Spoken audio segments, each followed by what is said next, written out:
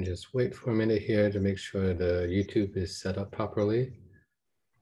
And then uh, we'll get started. I have some announcements to make for projects, so uh, we'll just hang on for that.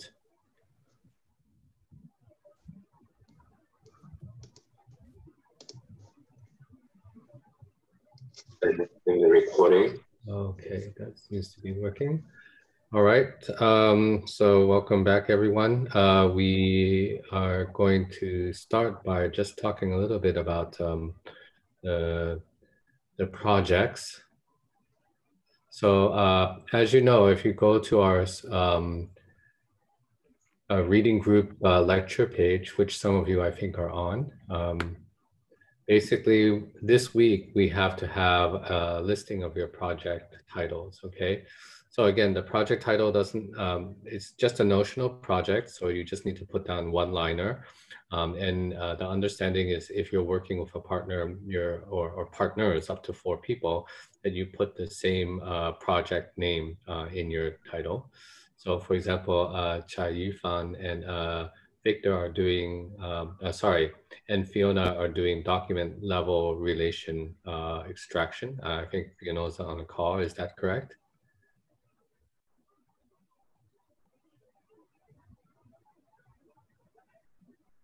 Yes, yes. Sorry. Okay. Great. Um, so yeah, I saw you're on chat too. Okay, great. Um, and then we have a couple people, Alexandre and his uh, friend Romain. They're both doing uh, Understanding Transformers.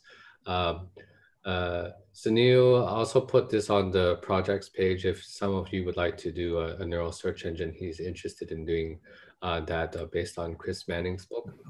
Um, Abdul is interested in domain adaptation. Um, there are three of our first year students doing uh, medical dialogue generation using BERT. Um, two people, I guess, uh, interested in uh, something very close to Prof. Ng's uh, uh, area, which is grammatical error correction.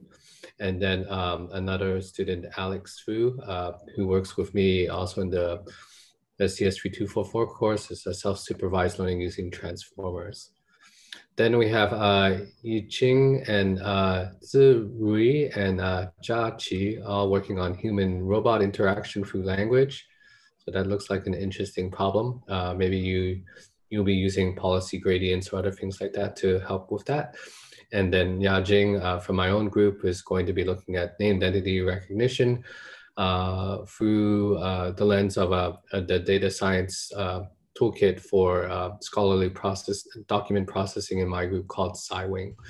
So um, yeah, those of you who are still highlighted in red, so uh, Kush, Shachong, um, Malik, and uh, a number of our first year PhD students, as well as Judith uh, Zipeng, um, and all of those other of you who haven't put in something yet, uh, do talk with um, other people on the projects channel, maybe even during our presentation today, and see whether there's something of interest to you. Okay, so you do need to put in something uh, this week as a notional thing. Again, the project should be about uh, 40 to 60 hours of work in total on your side. Uh, so if you have multiple people, hopefully you can work together to, to bring something up to a more manageable um, size, right? Um, and the deliverable is very simple. Um, you need to create a poster at the end of the semester in week 13 um, to display at our um, uh, SOC project term showcase um, that's held at night on Wednesday. So it's a Wednesday night from 6 to 10 p.m. So um, if you can make it, that's great. If you can't, then hopefully you're in a team where somebody else in the team can present but it's also again a, a, time to socialize and talk with other people about their projects as well. Okay, so with that, I think uh, we can get started. Let's uh, turn it over to the main crew for today. So I'm gonna stop sharing my screen. Okay, and then uh, if you guys have any questions, uh, feel free to ask me either in chat or in Slack. Again, um, chat is very convenient because it's part of uh, Zoom, but then it's harder for people to remember to take notes from that. So I would um, recommend that you use, uh, where possible, the Slack channel because um, all of us uh, hopefully are using a Slack client where you can keep updated with the messages on general and on projects. Okay. So without further ado, uh, let's have uh, our presenters for this week um, start uh, their presentation for week five.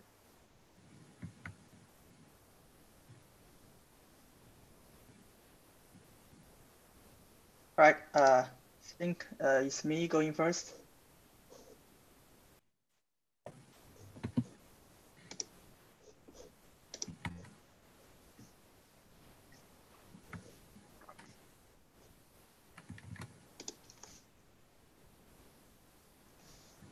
Uh, okay, uh, then let's get started. Uh, so uh, in this week, uh, our group is going to present four papers, uh, which is shown here. And I will be presenting the first paper, uh, that is learning neural templates for text generation. Uh, I think it's a non, uh, this is a non-sequence to sequence method for controllable text generation. Uh, but I think its idea is quite good. Um, Okay, uh, then let's get started. Uh, so uh, this is a, a paper in uh, EMNLP 2018. Uh, it's a work by the Harvard NLP by the Harvard NLP group. Oh, there are some echoes. okay, okay, sure.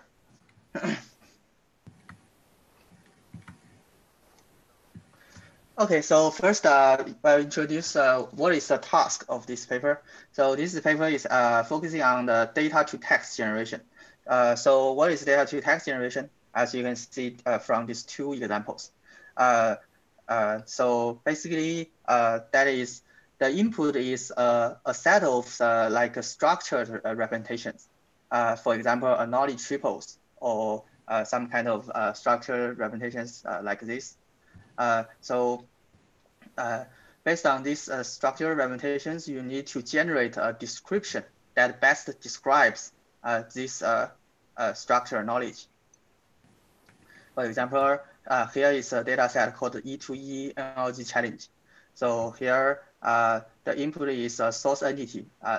here is a COTL, and then the, it has uh, several attributes for uh, for these entities. But for example, it is a coffee shop, and its rating is three out of five, and it delivers uh, English food, uh, and is uh, located near the Portland Arms. And the system uh, and the system generate a, a sentence that included all of those information, which is shown here. and in the right part is similar. Uh, this is called uh, this is a uh, Wikibio data set. So this data set is actually collected from the Wikipedia. Uh, if you are familiar with Wikipedia, uh, there uh, there is usually a info box. Uh, so uh, together with the article, uh, which shows some uh, main attributes for, for the entity. For example, here uh, this person uh, it has uh, date of birth, date of death, uh, nationality, uh, and also some uh, well-known works. So uh, the task is to, based on this all this information, to generate a description or uh, or, a bio for this person. Okay, I think you all understand what is a task, uh, and then I will go on. So to address this problem, uh, a key challenge is that uh, how can we ensure that all the information in the structured knowledge are included in the description? Uh, so uh, very intu uh, I think a very intuitive method is to use the template-based generation, uh, which follows these three steps. So first, you need to encode the source, the source data. Uh, and then the second, uh, you select a template. For example, here, uh, here is a a very typical template to describe uh, like a, a shop. Uh, and uh, here are some many blanks in the template. So then the last last step is to fill in the blank. so based on this input knowledge. This looks easy, but there are two problems we need to address. So first is that how can we know uh, what template should we choose? Uh, so in this paper, it actually uh, uh, propose to learn the templates uh, from, from the data, from training data. Uh, and uh, and the second problem is that uh, because uh, the template uh, is very uh, like a fixed, the template is fixed, so this will sacrifice the language variety, the, which means that but yeah, because the template is fixed, so in, in this case, the generated sentence are li likely uh, uh, not very diverse. So uh, we need some sort of paraphrasing. Uh, so, uh, so in order to do that, uh, actually this paper introduced a very interesting idea called neural templates to address this problem. All right. so what is a neural template means? So basically, a neural template is a sequence of neural states, uh, and uh, which is shown here. And uh, uh, uh each, each state uh, is essentially a hidden vector. and, and, and this hidden vector will, will send to an RNN as the initialization to, like to, to generate its specific contents. so and each neural and each neural state will uh, most uh, so in most cases it only corresponds to one phrase uh, or like a, a, short phrase. For example, here uh, this uh, uh, uh this neural state, neural state vector we are likely to generate these sentences, these phrases such as is a, is an, and is an expensive. And for example, here this neural neural state will we are likely to generate verbs like uh, providing, serving, and offering.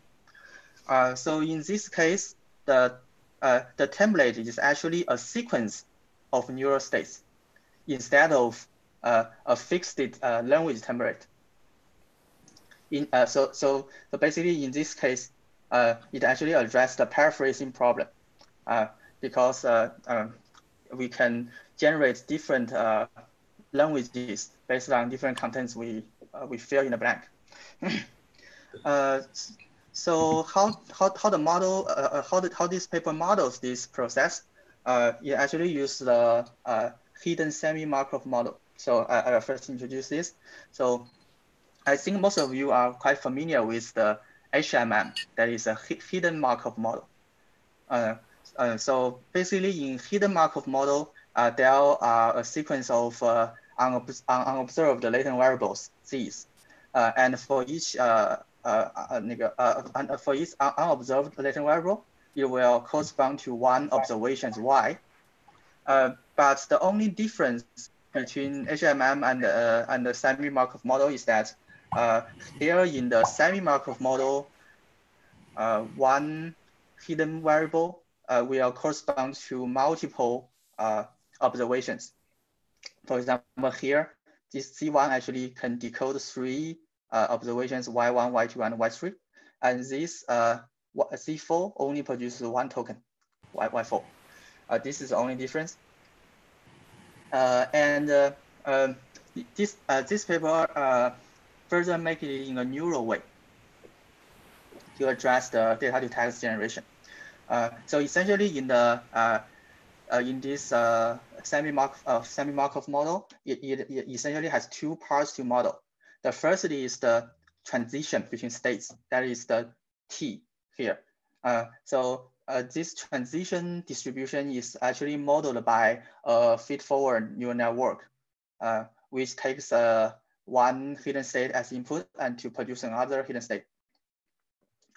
and Another, another part is the emission distribution. That is given the uh, one hidden state, uh, how can we produce uh, uh its contents, uh, Y1, Y2, and Y3. Uh, so because the number of tokens we, we decode may, may be different. So uh, here, this emission distribution is modeled by a sequence-to-sequence -sequence model with uh, the copying mechanism.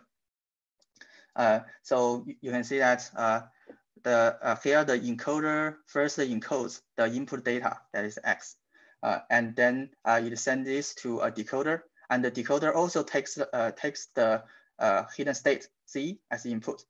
So these two X and Z will guide the decoder to decode uh, the corresponding contents. Uh, so uh, now the problem is how can we learn uh, the model parameters? That is, how can we learn this transition function and this emission function based on our training data? Uh, so uh, to summarize, the training data is a set of X and Y, uh, X, Y pairs. That is a set of data and uh, ground truth uh, sentence uh, pairs. And the unknown parameters are the hidden state Z, transition network T, and the decoder network L. Uh, this is what we want to learn. Uh, and the uh, learning objective is, uh, is of course to maximize the log likelihood uh, of the observed, uh, observed samples XY. so, which is shown in this equation. This is the training objective. And here you note that because we have latent variables in this generation process Z, so so in the optimization, we need to uh, marginalized over all possible Z's. So actually, uh, in practice, this is uh, in, uh, intractable. Uh, but actually, this is a well-studied problem uh, in in HMM. Um, so so in HMM, we can use a dynamic programming method called a forward-backward algorithm to address this optimization problem. So it is similar to apply this algorithm here in this uh, uh, semi-Markov model. All right, so uh, after we learned the model parameters, that, that, we, that is we learned the trans transition uh, network and the emission network, uh, we can then uh, do the inference based on this. The inference means that now when we are given an observation X and Y, that is the data input and the ground truth uh, utterance. We want to infer uh, the hidden states. That is, uh, that is uh, uh, the most probable uh, hidden state Z. also, in other words, the most probable neural template that raise this Y. So to find this Z, there is also a well-studied algorithm based on dynamic programming called the uh, Viterbi algorithm. Uh, it is a very common, uh, it's a very famous algorithm uh, used in HMM. It can be also brought here to address uh, this problem. Okay, so now uh, given each data sample, we can inf we can do the inference to get its most probable neural templates. So we can then go through each example in the training data uh, in this case, we can extract the most common neural templates from the training data. Uh, so, okay, so I'll show one example here. Here is one uh, common neural templates extracted from the E2E dataset. So note that uh, here there are some brackets here. Actually, uh, and, and there are some uh, numbers here. So actually this means these numbers mean, actually means uh, like uh, uh the, uh, the index of the uh, hidden, hidden vector. For example, here actually means Z185. but in order to better visualize this template, it actually shows the most probable decoding of this Z. for example, here, this, these hidden states most probably will decode a phrase like, uh, like the uh, Westlers. Uh, and here, uh, when we uh, like, uh, and, and, and here is the one common neural template that is the sequence of these extracted from the E2E dataset. Uh, and then finally, uh, so then finally in, in the uh, testing time, now we can do the controllable question generation. Uh, sorry, the uh, the controllable text generation. That is, uh, we uh, we have the most common templates in hand, and then we can actually uh, pick uh, pick up one neural templates, and then re uh, restrict the model to uh, produce the uh, sequence uh, based on this neural template. Uh, and, uh, and with different uh, neural templates that we choose, we can Uh, like control the model uh, to, uh, to generate certain information or to not generate certain information. For example, here it shows one example to generate a description about this entity, Kenny Warren. and the input is a set of attributes for, for this entity uh, such as a name, the birth date, birth name. And uh, here uh, they are, uh, it choose five different neural templates. Uh, and, of, uh, and each of these uh, neural templates will generate different contents. okay, so I think, and finally, they show some empirical results on, the, on these two data sets, the E2E and the Wikibio. Uh, and you can see here actually uh, the performance uh, actually cannot outperform the, the basic sequence to sequence model. Uh, but uh, I think this is understandable because uh, when you introduce more controls into your models, it, is, it is very likely that you will sacrifice some performance. So although that this model is uh, does not perform uh, uh, does not outperform the sequence sequence, uh, it actually brings more controls uh, Uh, into uh, what what you are going to generate. Uh, so I think that's the highlight of this paper. Uh, and, and, and also I think the method of using the neural semi-Markov model is quite, I think, quite elegant, quite elegant method. uh, yeah, and so that's all. thank you. Uh, so you can may ask uh, some questions. Yeah, so it'd be good. So Samson has a question. He has his hand up. You want to start? I, yeah. So how does the how how does the model decide how to segment the sentence? Because I noticed that each bracket can have a variable number of words, right? Uh, yes, yes, uh, yes. As like uh, shown here, yes. Yeah. So how does it how does it decide how many how many words belong to one of the states? Uh, I, I think it is uh, just uh, learn from the data. Yeah. Mm, because yeah, because uh, actually this emission network is actually modeled by an RNN. So uh, uh, the RNN will decide uh, so when to stop. Uh, uh, so given this uh, hidden state that it inputs. So is it so then is it like a hierarchical RNN? Uh, yeah, yeah, it's uh, similar. Uh, it's, yeah, it's like uh, yeah, you, you, yeah, you can think of it as a hierarchical method. Uh, yeah, because each uh, each hidden state actually con only controls a part of the uh, of the generation. Uh, uh, but I think this is uh, uh, but I think this is uh, actually belongs to the uh, I think it's hidden variables generation uh, uh, type of uh, method. So uh, is uh, things not uh, essentially the same with the hierarchical RNN. Yeah.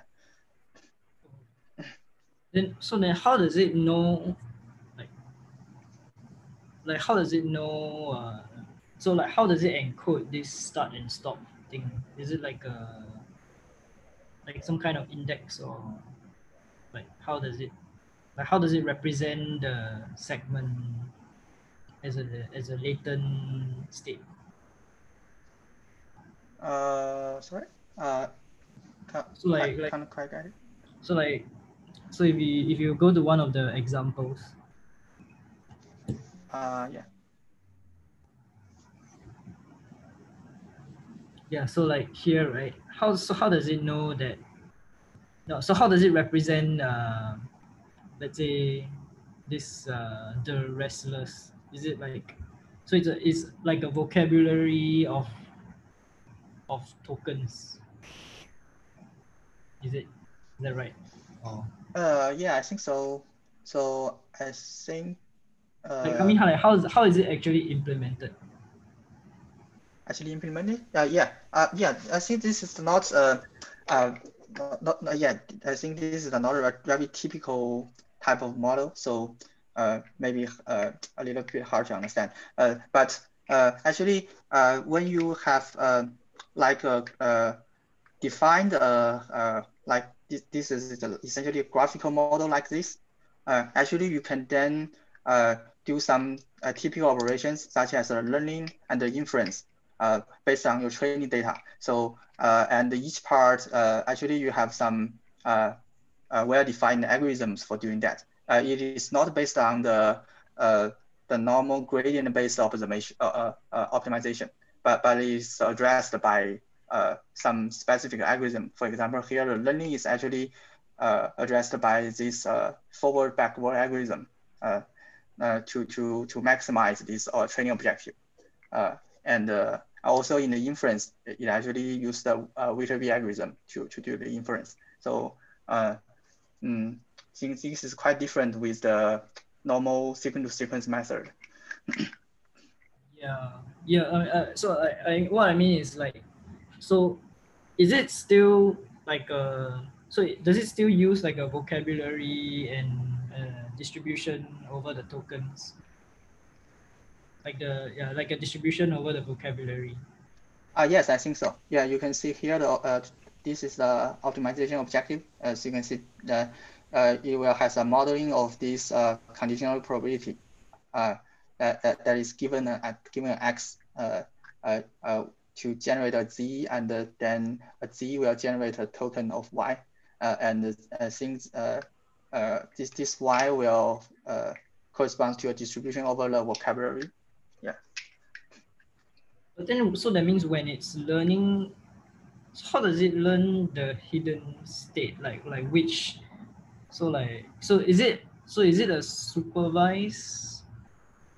Is it? Uh, yeah, yeah, it is. It is a supervised method. It's uh, uh, yeah. I, I, I don't know how to explain this, but uh, um, I, I think the hidden uh, uh the hidden variables are actually not learned, but uh, uh, uh, it is uh, the net the the learnable parts are, are essentially the these two uh, networks that is how that is the model learns how to transist one one hidden variable to another hidden variable, and uh, and also how to decode uh, a certain uh, hidden hidden vector.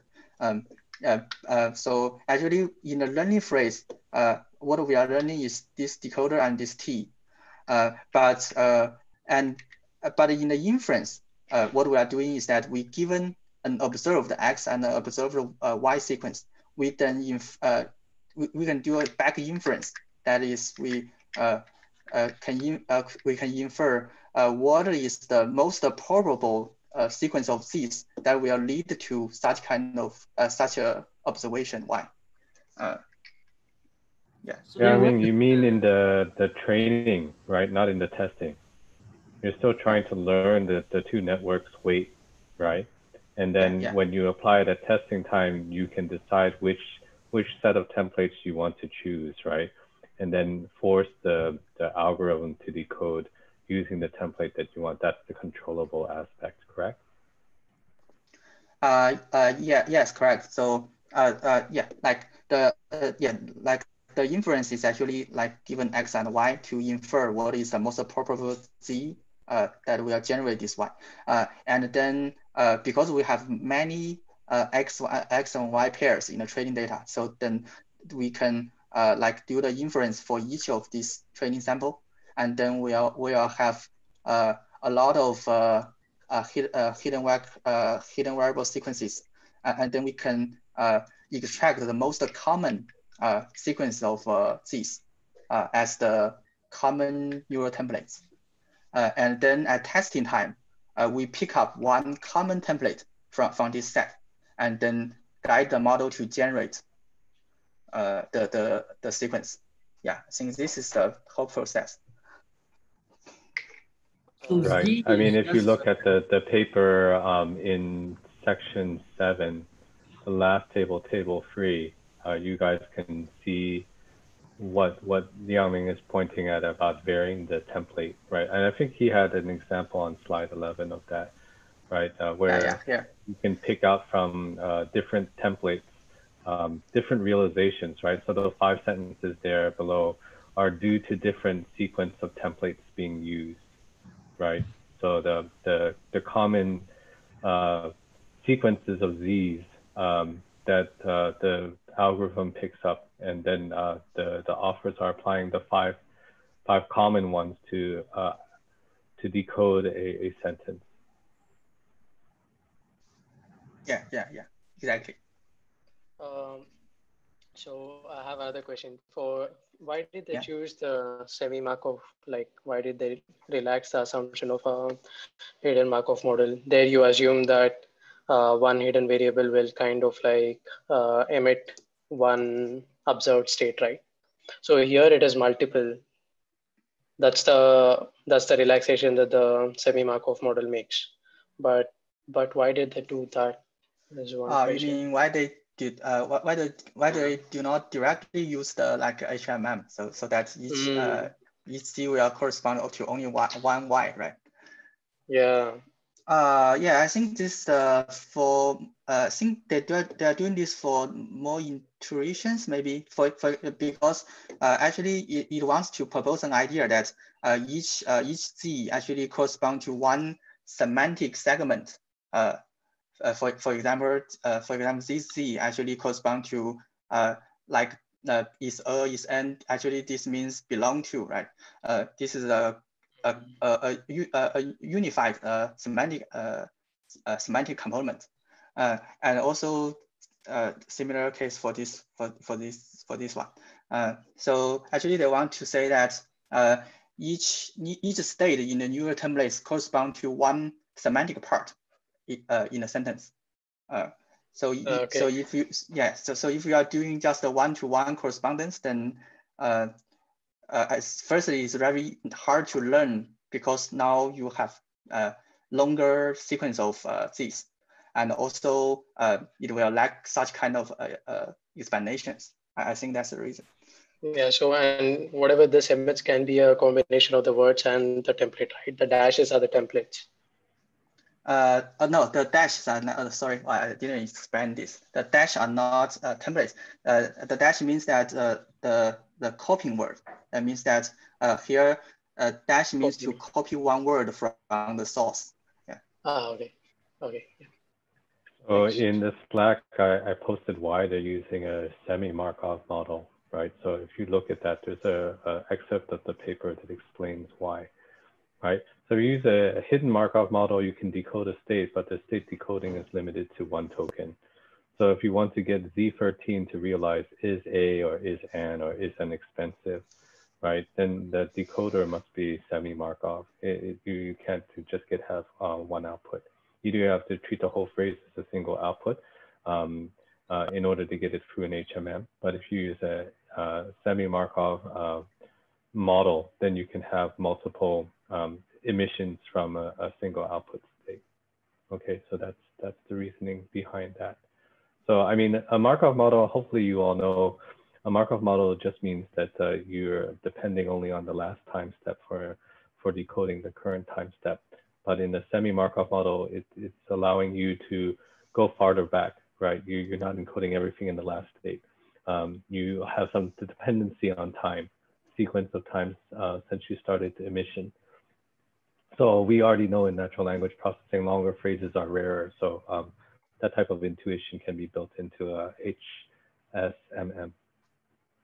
It's kind of a recurrent HMM, I guess. Yeah, that's that's exactly right. I mean, the recurrent model is based on a, a Markov model assumption too, right? Uh, and so, uh, you know, you have a, a higher chance of hitting a stop probability of ending a sentence after going through enough states.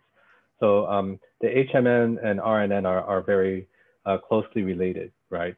Uh, the HSMM is uh, basically giving more credence to uh, having um, emissions that or, or other uh, states which have um, longer states, uh, longer emission probabilities, meaning over multiple tokens, right? So if you're reading an input that's actually a multi-word segment or outputting a noun phrase that's a multi-word segment, and you want to obey that, um, uh, that type of emission probability, then you might use a, a semi-Markov state, right?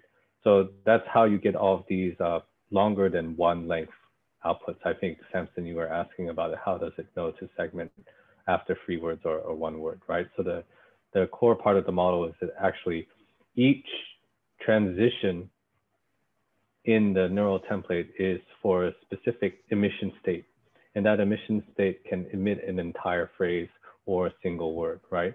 And as uh, Liangming pointed out on, on that slide is that even within an emission state, it can choose to generate a word or generate a copy of a word from the source, right? So those underlines that Abhinav asked about, those are basically like the copy variables that we saw in CopyNet from the previous time.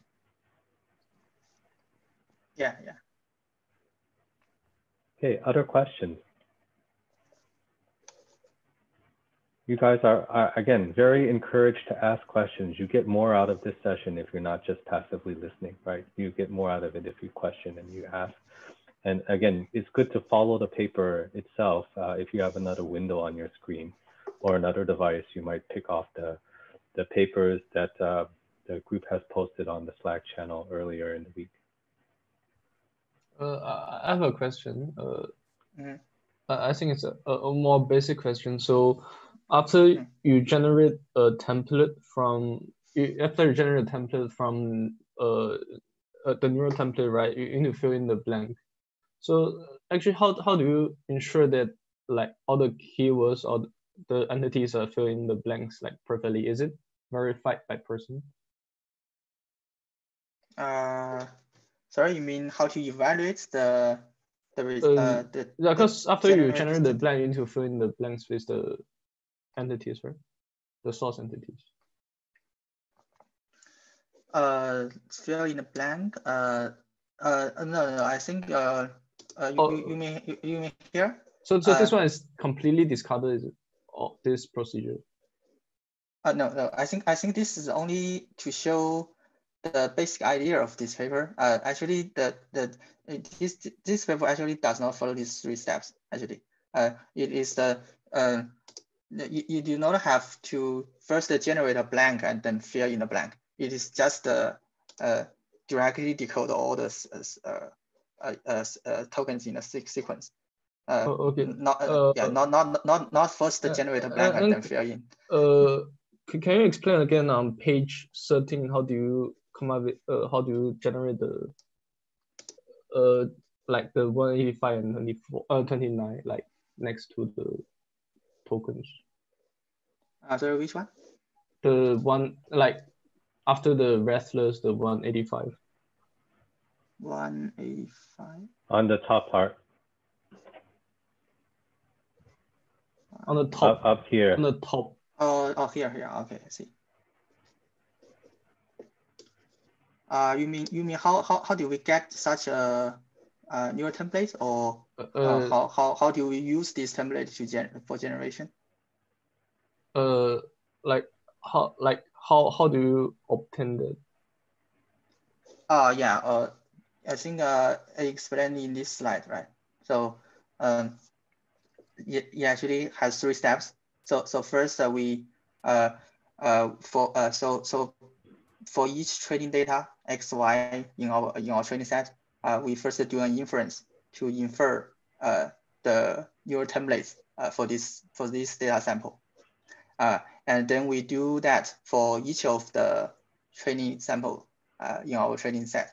Then we will have a, a lot of uh, uh, neural templates. And these neural templates may, uh, I think uh, I think some of them may, may, may be exactly the same, right? So we, we can then uh, select those most common neural sequences uh, as our template. Uh, and then after we, that is how we get uh, this, uh, this template. This is oh. a common neural templates extracted from this data set. So, so the 185 means like how many occurrences are there, like how many uh, occurrences that are among the templates? Is it? How many? No, that's just an index. So uh, this part means that there, there is a neural template that is numbered 185 that was um, um, uh, inferred from the model training, right? Oh. Um, yeah, and this yeah, might actually uh... not be um, the actual words. It could be that it copied a uh, named entity from the source, right? Oh. But other ones like here uh, A, that was from a neural state 29. So there's a, a, a neural template 29 that might actually cop, um, generate these specific words is A uh, from it. Oh, okay, thank you. So if you look yeah, at yeah. the first figure um, that Liangming presented from the tape paper, yeah, which is on your figure one, yeah, this one shows you what's inside, right? So if you look at figure one, even from the, the paper itself, you'll see the neural template also. I'll put it into Slack since some of you may not have the paper in front of you. Oh, okay. I got it. So uh, you're fitting the model with the uh, with, with this sequence of uh, clues uh, one at a time uh, um, during uh, during inference time. Is that correct? Mm, uh, during inference time. Yeah. Mm, so uh, during. Yeah, yeah. What, turning, what do you mean? You mean you, yeah, mean this? Turning the um, the the slide next slide maybe it's more illustrative. Turning the um, the tabular data into a bunch of possible neural templates. Uh, in practice, uh, to do that in practice, you need to uh, in to to give um, the data piece by piece to the to the network. Is that right? Like first, I mean to the model. You first give it Kenny Warren, and uh, and then you give it a birth date and so on. Um, yes, is is it uh. Because uh, that, yeah, yeah. Yeah, because my question then is, uh, is the uh, output going to differ if you uh, change the order of the tabular data? So for instance, I start with the notable work, then I give the name, you know, then I give the birth name and so on, in, in a different order. That would ah. confuse the model or is, is expecting the uh, input to follow a particular sequence? Ah, yeah, yeah, I think this is a good question. Yeah, I think uh, actually, uh, uh, actually this all, all, all these parts right here is actually corresponds to the input data uh, that is at the X, uh, right? Uh, and uh, so you, as you can see in this uh, in this diagram, uh, the X is uh, always conditioned. That is uh, when you when you generate uh, based on one state uh, in the neural template, uh, you will be conditioning on the on this X. That is, you will be conditioning on all of these uh, uh, attributes. Uh, so, but uh, but but these attributes are actually encoded by uh, an encoder, uh, which will turn all of this information into just a a, a single vector. Uh, okay. So uh, so uh, so as you said, uh, if we change the orders uh, of these attributes, so uh, in this case, we, we may we may uh, result in a different uh, uh, vector uh, for, for, for this x. So yeah, it is likely to result in different model generations. I, I, I, yeah, but but I think the in this paper the author does not did not investigate this problem.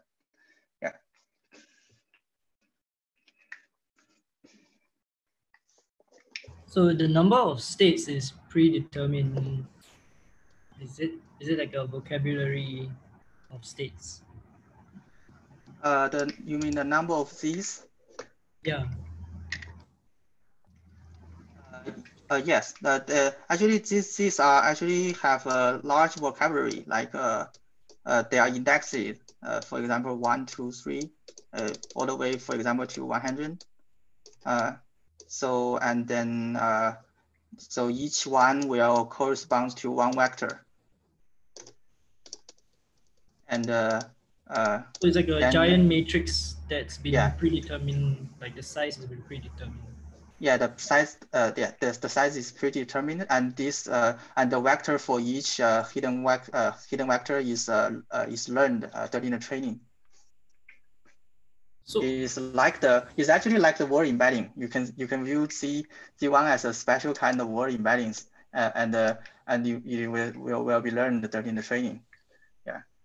Right. so but then how so how how does it I, I, I still don't really understand how like let's say for a given sentence how does it know which are the z's that should be corresponding to those segments that are in the sentences uh you mean how to do the inference right uh maybe Uh, yeah, yeah, that is uh, okay, okay, I will explain this more.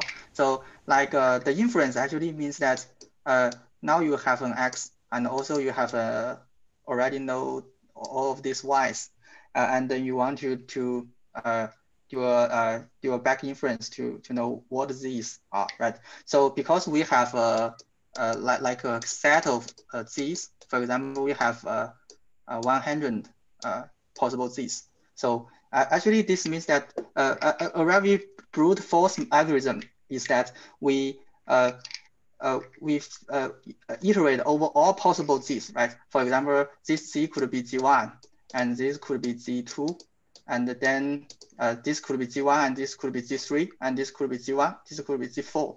Uh, and yeah, in this case, we have 100 times 100 po possibilities, right? So uh, um, and each uh, each uh, each each possible assignment will give us a, a likelihood that uh, when when we are given this uh, this uh, how likely it will lead to this observation, uh, and then we will choose from all these uh, ten thousand uh, possibilities to find the one that has the maximum likelihood.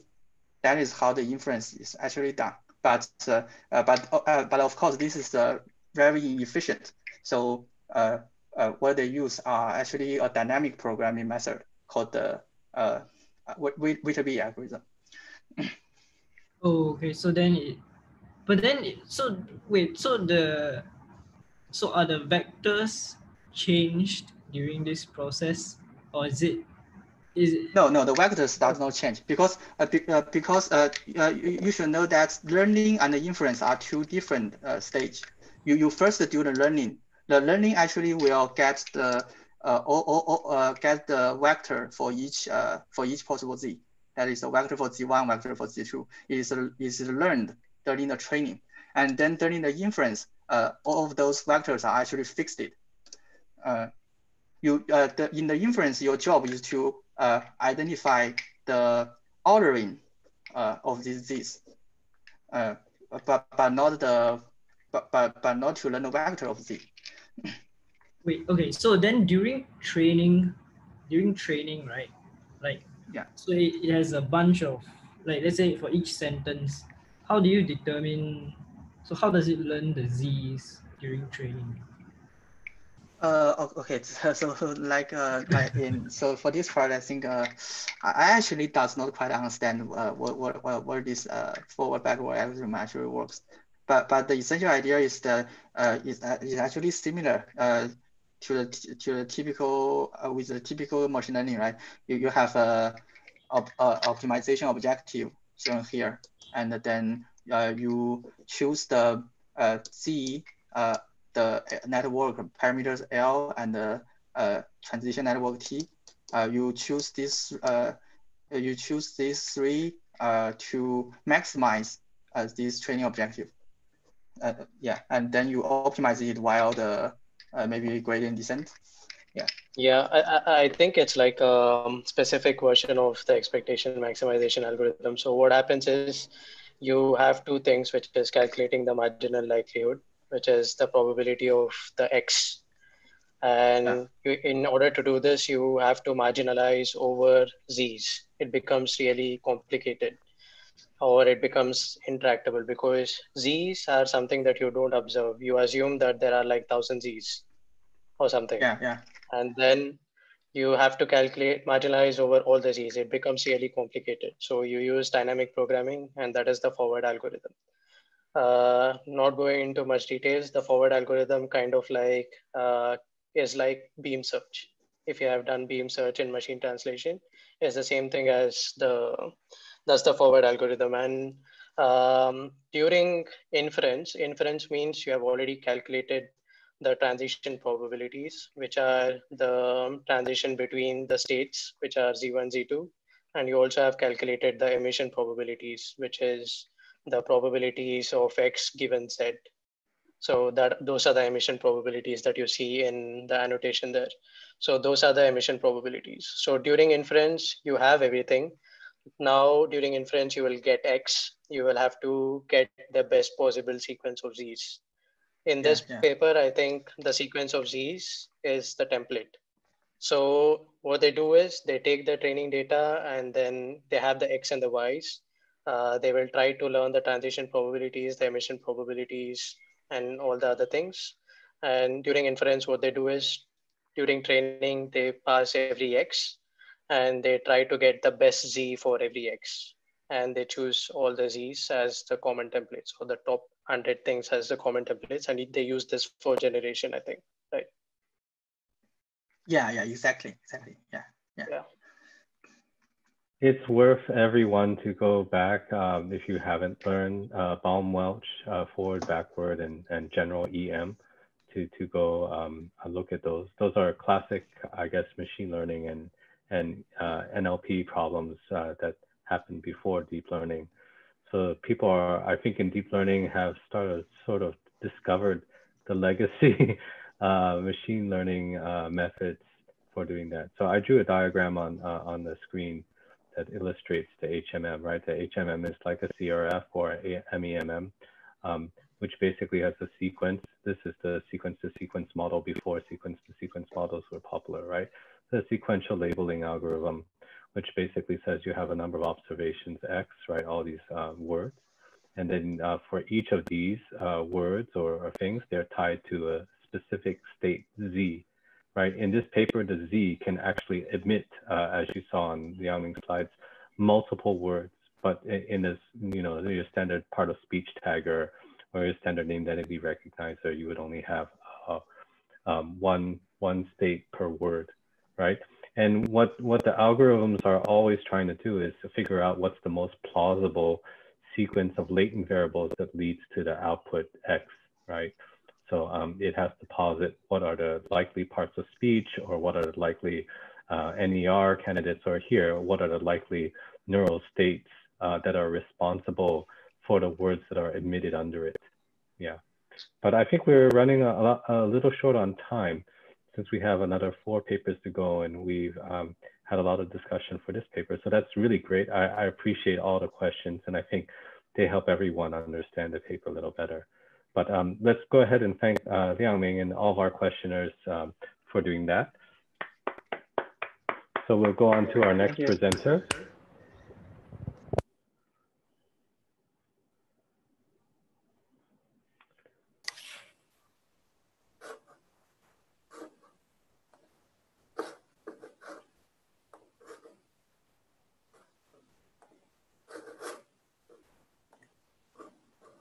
So our next presenter is presenting text generation from knowledge graphs with graph transformers. So um, I just want to ch check who's responsible for that. Yeah, um, yeah, I'm good.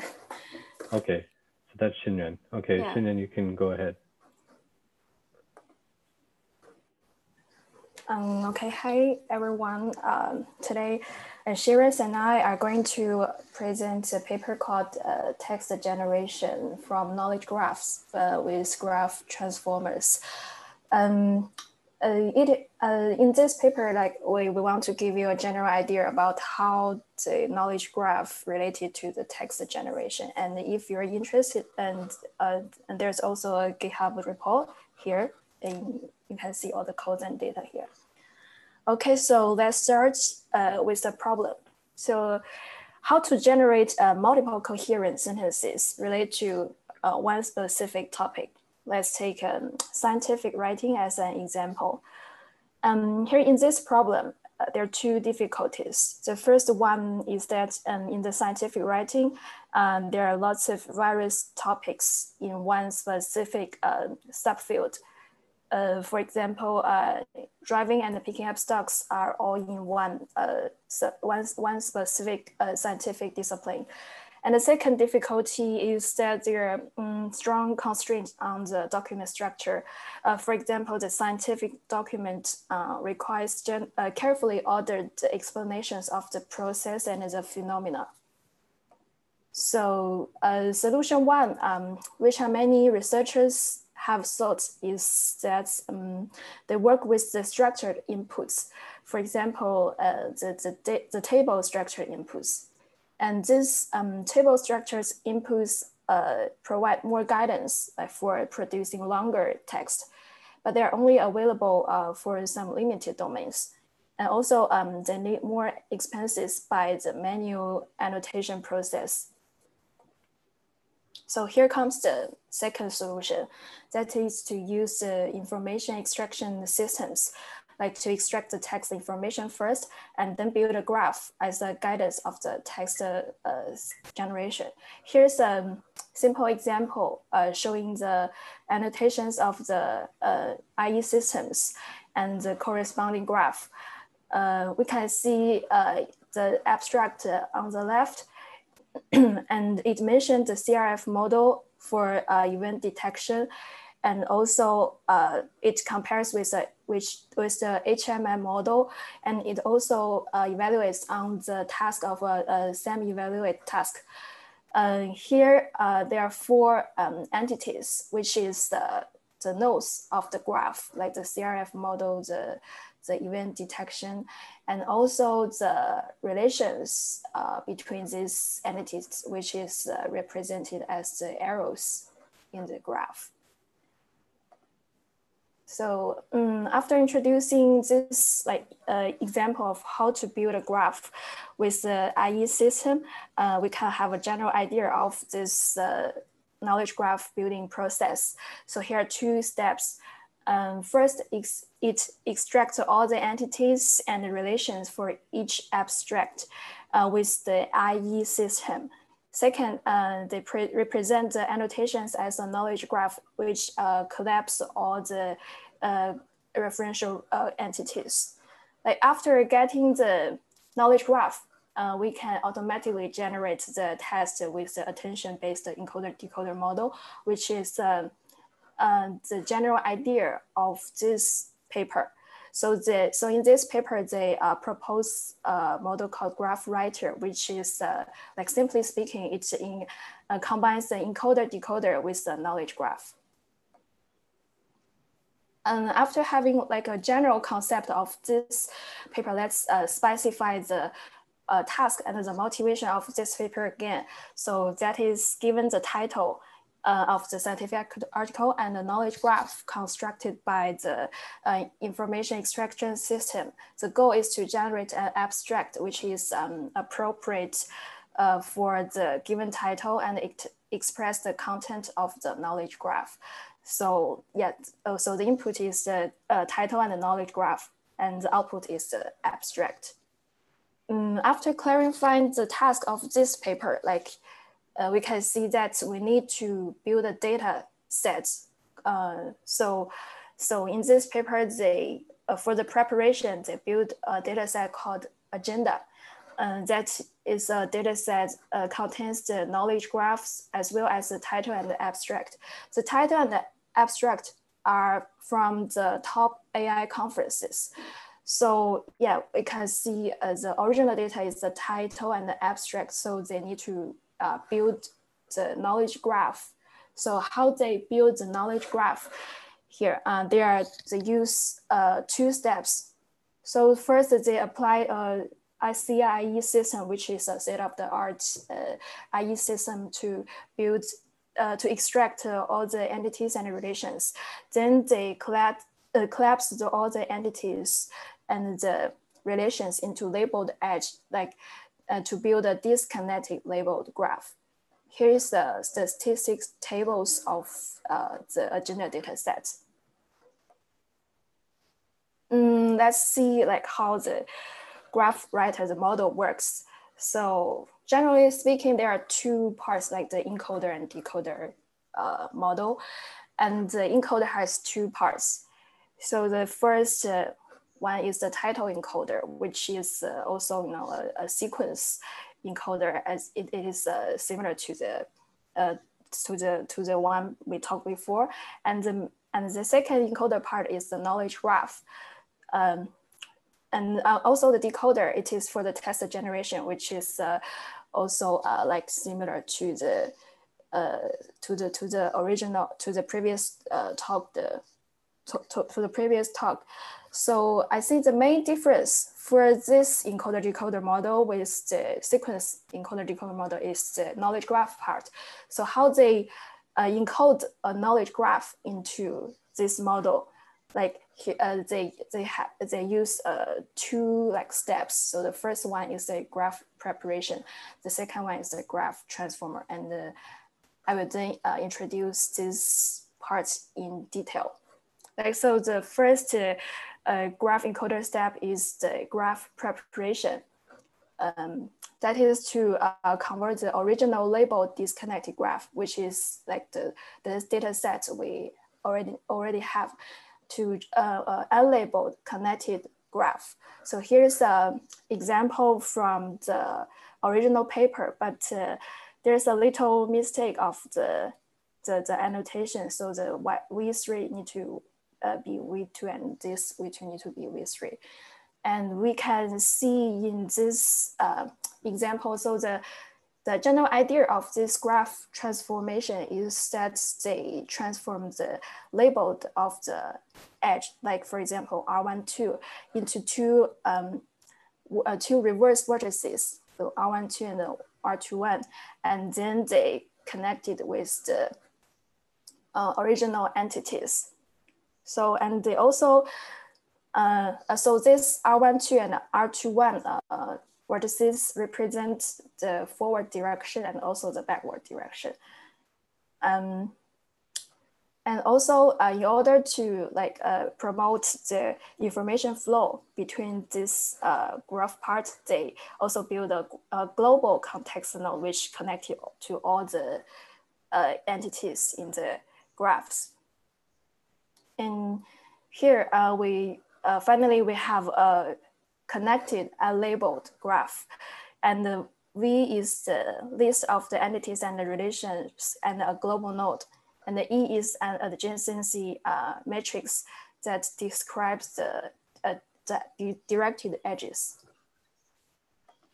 So after the first step of the graph preparation, uh, the second step is a graph uh, transformer.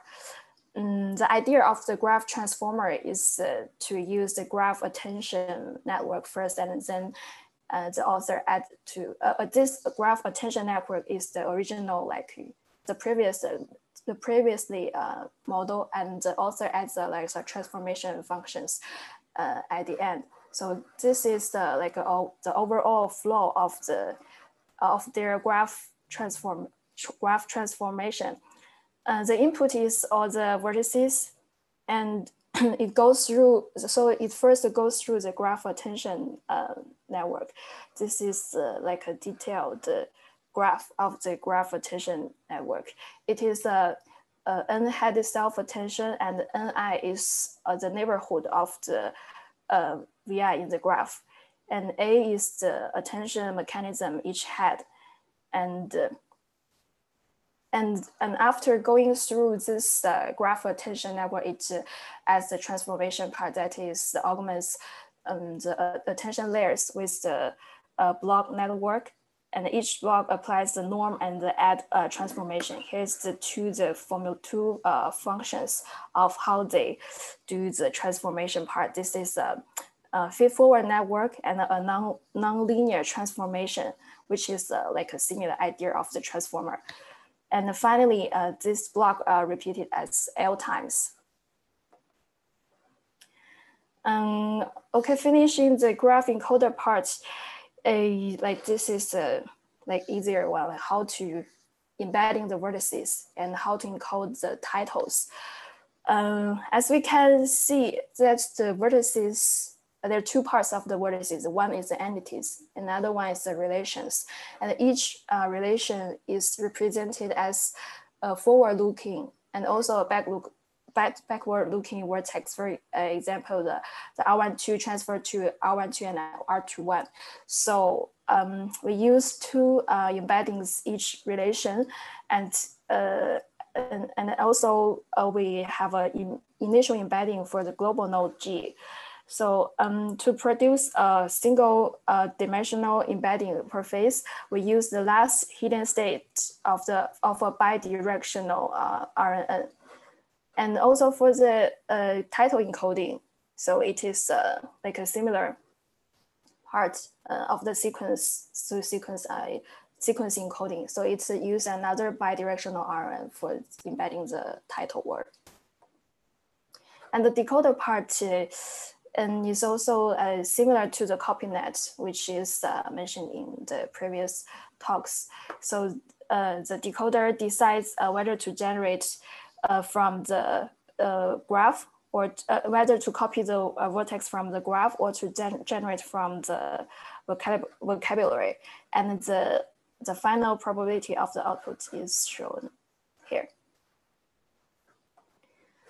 Um, okay, before we go through the to the experiment results, let's see the three contributions of this paper. So first, they provide like a larger data set called agenda. That is to build a knowledge graph part paired, paired with the title and the abstract. And the second contribution is that they transfer the original like uh, IE's output, for example, the label disconnected graph into the disconnected unlabeled graph. So how they do the transformation is to transfer um, each labeled edge uh, into two reverse vertices. And the third contribution uh, they use is that they, they, propose a graph transformer, which is uh, uh, which, uh, that they add the transformation functions uh, into the original uh, graph attention network. okay, then let's welcome like Shreyas to present the experiment results. Yeah, uh, thank you, Xinyuan, for leading through the model and how everything works. And uh, I will just take you guys through the various evaluation metrics used and some of the interesting results and how they actually went uh, got obtained these results. So uh, here the focus is given on human evaluation. So the paper, uh, the, the contributors do a mix of both human and automatic evaluation but uh, a greater emphasis is given on human evaluation. And the method used is best worst, best worst scaling.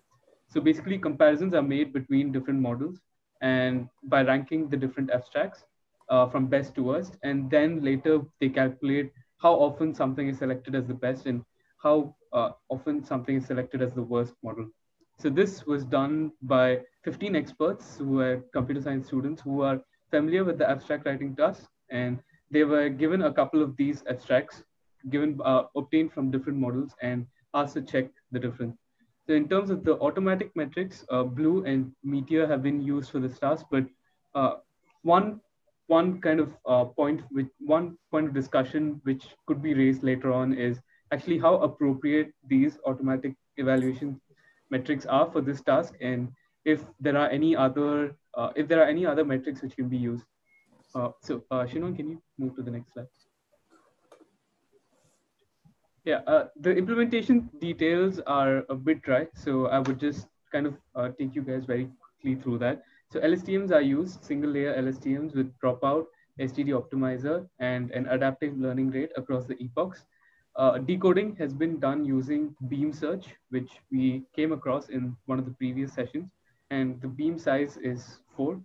Uh, the attention heads uh, in yeah for the graph attention network four attention heads are used here and these models have been trained end to end to kind of ensure that uh, the the the the negative log likelihood is reduced and we get a good we get a good measure of the target text vocabulary and the copied entity indices.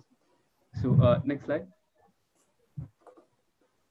so yeah, uh, here I will take you guys through some of the interesting results. So the first uh, result you see on the screen is basically a comparison of the graph writer model against several strong baselines and how these comparisons are made is the interesting part. So one of the first things uh, laid out by this paper is the emphasis given to title, uh, the use of title, entities, as well as relations.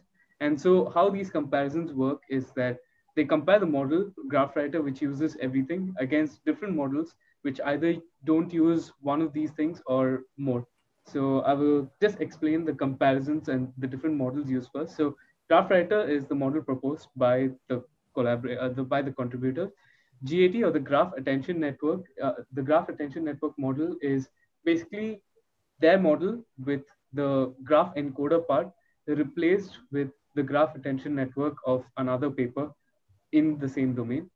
Uh, entity writer, on the other hand, is only going to use, uh, oh, it only uses entities and the title without the relations as well as the graph structure, which has been used by graph writer. And rewriter, the final and worst performing model, as you can see here, just uses uh, the title in order to produce the abstract. And so in terms of the automatic evaluation, GraphWriter performs better than almost all the other models, which goes to show that yeah, leveraging all uh, leveraging the title, entities, and relations uh, proves to be the best approach in this abstract generation task. And the comparison with GAT, in comparison to GAT, uh, since both of these models are pretty similar, what we kind of observe is that this goes to show that the GraphWriter model produces better global contextualization.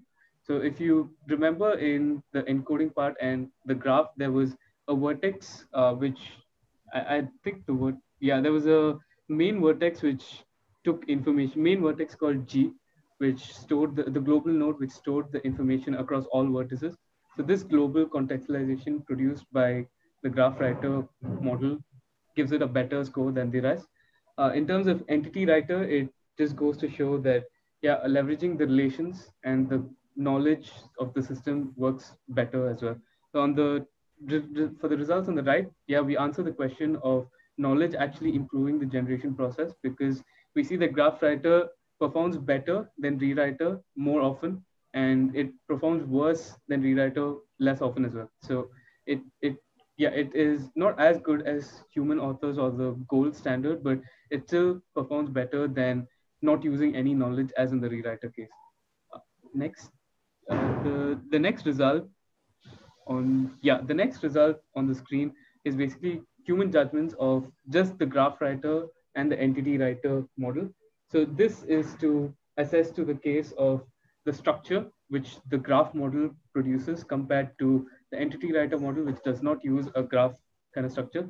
And so how this works is that this helps in this helps in the graph writer model providing a detailed structure, which is very important for the task which we are doing, which is to produce scientific abstract. And so something, uh, one of the things about scientific abstract is the importance of coherence. Uh, that is, does it should have a good flow from an introduction to stating the problem, then describing the solution, and also after that is discussing the results and so on. So this kind of coherence is uh, obtained well by the graph writer model. And as you can see, the structure is the key winner here. Uh, the informativeness part, which is basically does the, which is bas- which basically implies if the the abstract given it relates well to the title as well as the entities. That is pretty well as well. Uh, in that measure, the graph writer model does pretty well. And in terms of the grammar and overall fluency structure, uh, it is pretty good as well. And the final, the, the final result, uh, oh, you know, uh, next please, yeah. The final result is basically an extra comparison done only with rewriter. So one of the things about uh, this kind of comparison is that uh, if we compare rewriter model, which only uses the title, to the graph writer model, which leverages the title, entities, as well as relations, the authors kind of, uh, the authors didn't think it would be a very good comparison. So they created this infer entity writer model, which just uses the title. Uh, it just uses the title and the information extraction, uh, the knowledge extracted from the system. And so we see that this clearly performs better than the rewriter model as well. And in the final slide, next please.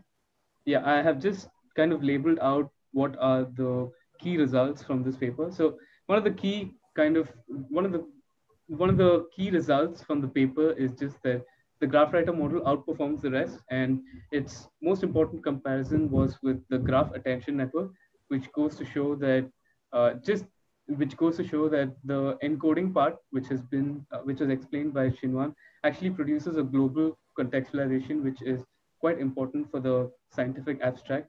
Uh, the other results follow pretty closely as well. So we see that models leveraging titles, entities, and relations easily outperform, outperform those with lesser information, uh, including knowledge in the abstract generation process, improve model performance as we could see with the comparison to rewriter and the structured knowledge is produced by using the graph, which could have been, which was seen by comparison with entity writer model. And yeah, all these models use title for the abstract generation process. And yeah, with this, we come to a conclusion of this paper. And yeah, we would like to open the floor for any questions. Thank you. So Tang Yao has a question. Maybe you can go first. Yeah, I, I just wonder how how is the uh, context the global node calculated? Is it like a similar similar to relation nodes or is it treated specially? The G node.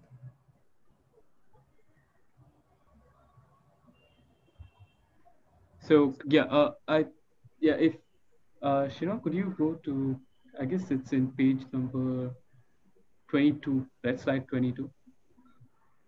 Yeah, there's a slide with the other nodes and relations.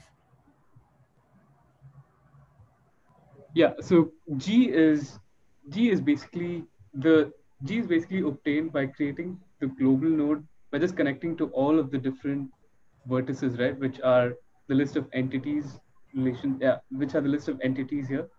And I, if I remember correctly, yeah, they have, they've just added the G node while while transforming the, the disconnected graph into the bipartite graph. So it's like a global node which connects to all the which connects to all the entities in the earlier structure. I suspect uh, I suspect it's the average of the embeddings of all of the uh, other nodes, but I'm not sure. We actually were discussing that with Xinyuan and Shreyas yesterday and we are not exactly sure what is uh, G representing exactly in vector space. Yeah, I also wonder if the direction matters because from this uh, diagram, the arrows are all starting from G to the nodes. Yeah. Does this mean anything special? There are probably little dotted arrows just because G is uh, artificially here to make a fully connected graph. Okay. Um, uh, yeah. So I also am not clear, even after reading the paper, exactly how the G node is uh, manufactured and inferred. Um, like Alexandre already said, the G node is to connect all parts of the graph so that um, when you do the smoothing represented by the GAT, that it can smooth over um, adjacent nodes. So if you know GAT, basically um, this graph attention network allows you to um, pull in other nodes nearby into the representation of a, a, current node. So for example, if I wanted to represent V1 on this graph, right? Um, basically what we're doing here is just saying that uh, when I when I represent this node, right? I want to pull in other nodes nearby. So I'm going to pull in, let's say the, the original neighborhood, which is just um, these nodes here, okay? Because V1 is directly connected to R12 and R21 as well as G, right? So we can do that. But when we go with um, these uh, other models that improve on GAT, basically you're allowing um, the representation of V1 to incorporate further neighbors, right? So the idea is that now all the nodes in the graph could be represented inside of V1 because they're all directly connected, uh, no, indirectly connected to uh, V1, uh, either through G or, uh, you know, to V2 through the, those R nodes, right? So it's a, a, smoothing process because we want to assign some information about V uh, from the other nodes. So for example, if you look on the left-hand side of this diagram, right, um, let me clear this up, right? We have two relations uh, V1 and V3 that are related uh, to V2 and V4 through some relation, V, uh, R12 and R34. But these might be like sequentially mentioned things um, somewhere in the document, right? So maybe we want to know that after V1 and V2, we would put V3 and V4. And so that information is being encoded somehow uh, in the in the G node. Okay, that, that's that global context that Xin Yuan was uh, talking about and that uh, uh, uh Shreyas and K, KP basically said that the system wins in the structure because it can incorporate global context, right? If you don't have that global context, you're basically uh, creating sentences, uh, but they're not somehow um, put into an abstract form, meaning it doesn't have that nice sequential property that we expect abstracts to have, right? First, you talk about the problem, then you talk about the method, then you talk about the evaluation, and then the discussion, right? So this type of formulaic uh, writing style would be missed if we didn't have these um, uh, overall uh, structure, right? The global context node is basically trying to arbitrate which, which type of uh, sentence to generate next. Okay, good questions. Uh, other questions? We do have time for one or two questions. Liangming. Yeah, uh, so uh, can you go back to slides 18? That is the, uh, yeah, this one. Uh, yeah, I only want to say a few words about this task, uh, not the model. So actually, uh, this task uh, actually takes a, a graph as an input, want to, uh, based on this graph to generates the abstract, right? Uh, and uh, they use the, uh, the actual human written abstract uh, for evaluation. Uh, but uh, I'm wondering one problem is that can we really write a good abstract just based on this graph? because for example here, the last sentence here says that our model outperforms HMM models by 15%. But, but this 15% does not even appears in the graph. So how can we expect that uh, we can write uh, this 15% uh, information based on this graph? Um, so, uh, so like, um, I, actually I have seen some uh, similar generation problems, uh, generation task like this. For example, I, I, I remember that I, I, I have seen one paper that tries to given one image of the food and then to write the uh, whole uh, recipe for, for, for that image. Uh, so, but, but I think uh, uh, even you ask a human to, to do that, it is, it is impossible. So how can you expect that the model can do it well? Uh, so um, yeah, yeah, I understand that whenever you have the training data, you, you can always do that because uh, sequence to sequence, you, you just need to feed the uh, feed the input and output, then the model can work. Uh, but but uh, even if the model works, uh, it may not because of uh, uh, you really understand this graph, but but uh, some part of this may be because of the overfitting of the data set. uh, so do you think? Uh, it's not the goal of the exercise here?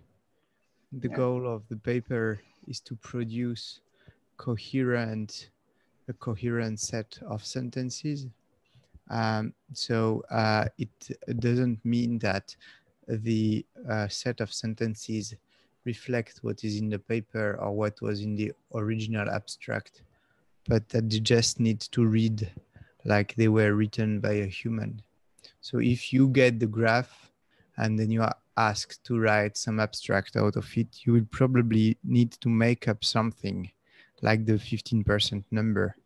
But then uh, if you are some, you ask someone to judge the quality of your output and pass, you know, check as a Turing test if this was written by a human without looking at the paper that it's supposed to be an abstract for, then someone might say, yeah, yeah, yeah, that's coherent and that's enough for this task here. So uh, um, yeah, yeah, I understand. I, uh, so, uh, so I, I just want to say maybe the uh, uh, maybe the paper will introduce um, uh, another way of uh, evaluation uh, because if you use the human written abstract for evaluation, uh, I think it may not uh, very appropriate because the uh, because the, the graph does not contain all the information uh, in the in the human written abstract. Yeah, I think this is one of the struggles of NLG is, uh, as everyone here knows, especially Liangming, um, is evaluation. Uh, and, and we have this all the time also in other fields like computer vision, uh, and not computer vision, but um, computer graphics, right? Like in computer graphics, you can create a new um, visualization of a cloud, but how do you decide whether that cloud is better than another cloud? So it's generated by another algorithm. It's all subjective, right? So NLG is like that too. But I, I take uh, what um, Liangming is, is saying is that, you know, the, the accuracy of the, the generated text is, is uh, questionable because, uh, you know, you only have a graph representation of the paper. But then what Alexandre says is, is very clue, uh, true, which is that the, the purpose of this paper is to generate coherent text. And uh, all of you should be um, very clear that the quality of the output and the quality of the model is uh, inherently linked with the quality of the input, right? So if the input data set, like this, uh, uh, I don't remember what it's called, um, uh, data set is not particularly good, you know, uh, let's say their named entity extraction or their edge typing is not very strong, then um, you know there's garbage out. So uh, we we need to really condition on it um, to to think whether this uh, representation is is actually doing a, a lot of work. Yeah. Okay. Other questions, Alex?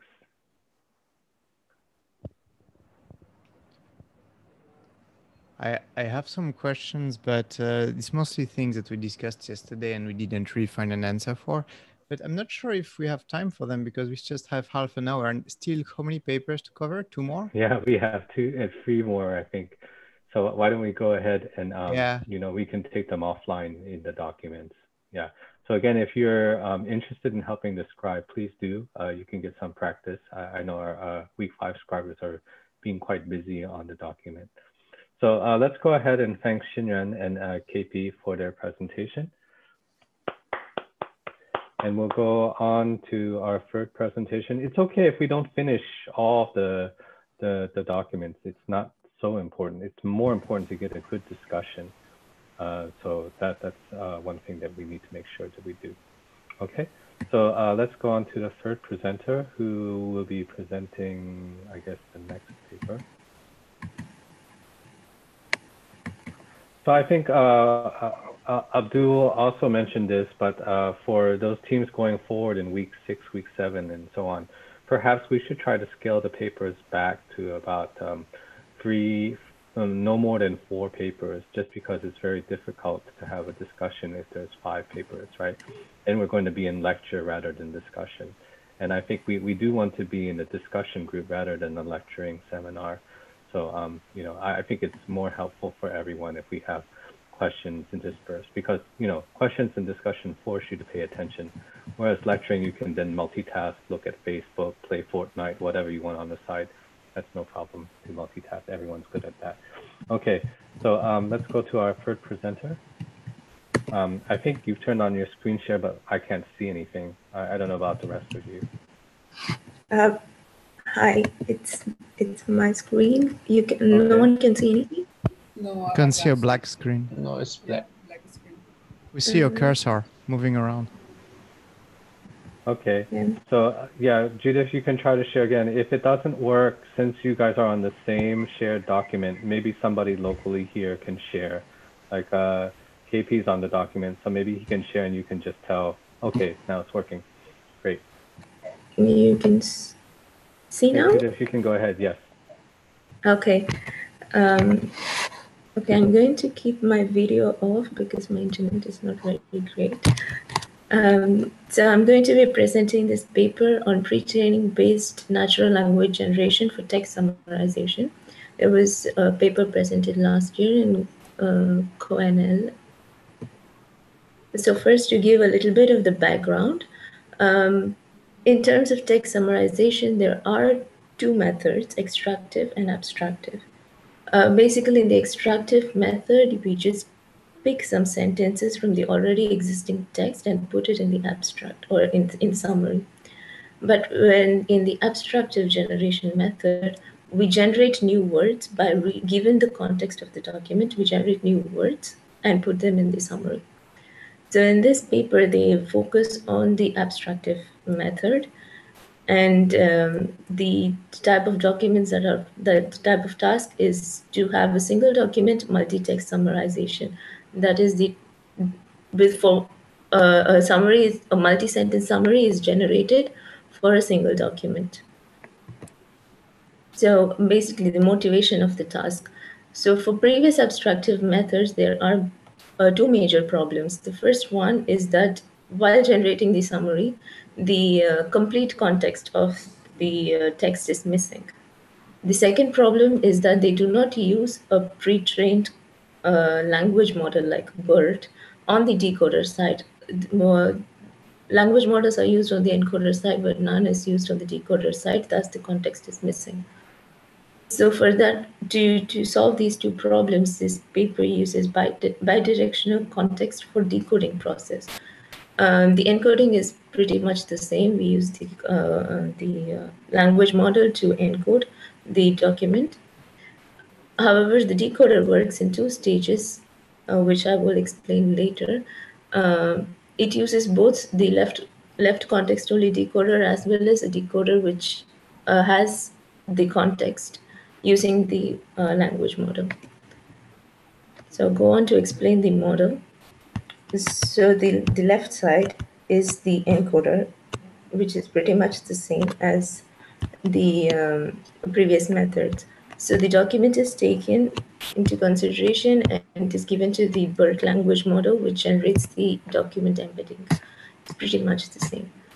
The uh, decoder, however, works in two stages in the first the first stage is called the document draft summary which means that there is a draft which is generated. A draft summary is generated at, as the output.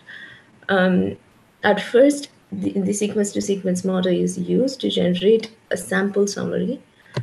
Uh, this sample summary is then given in given to a multi-head attention decoder along with the input embeddings the, the uh, document embeddings.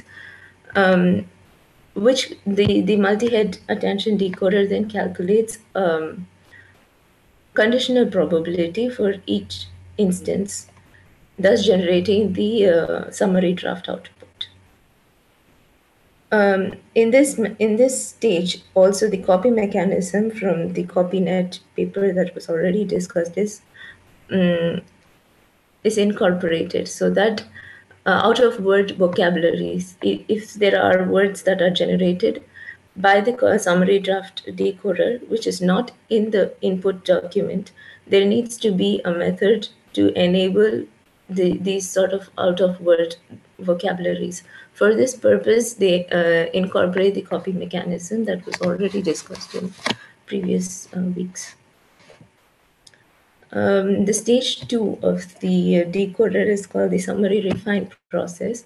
Um, we, it basically takes the draft summary as the as as the input, along with the uh, input uh, document embeddings. Um, the the uh, the draft summary is taken as the input and a, and a refined summary, which is the final summary of the whole document, is produced as the output. So at each timestamp, the the one, one of the words of the summary draft is masked, and a context uh, vector is generated using the BERT uh, language model.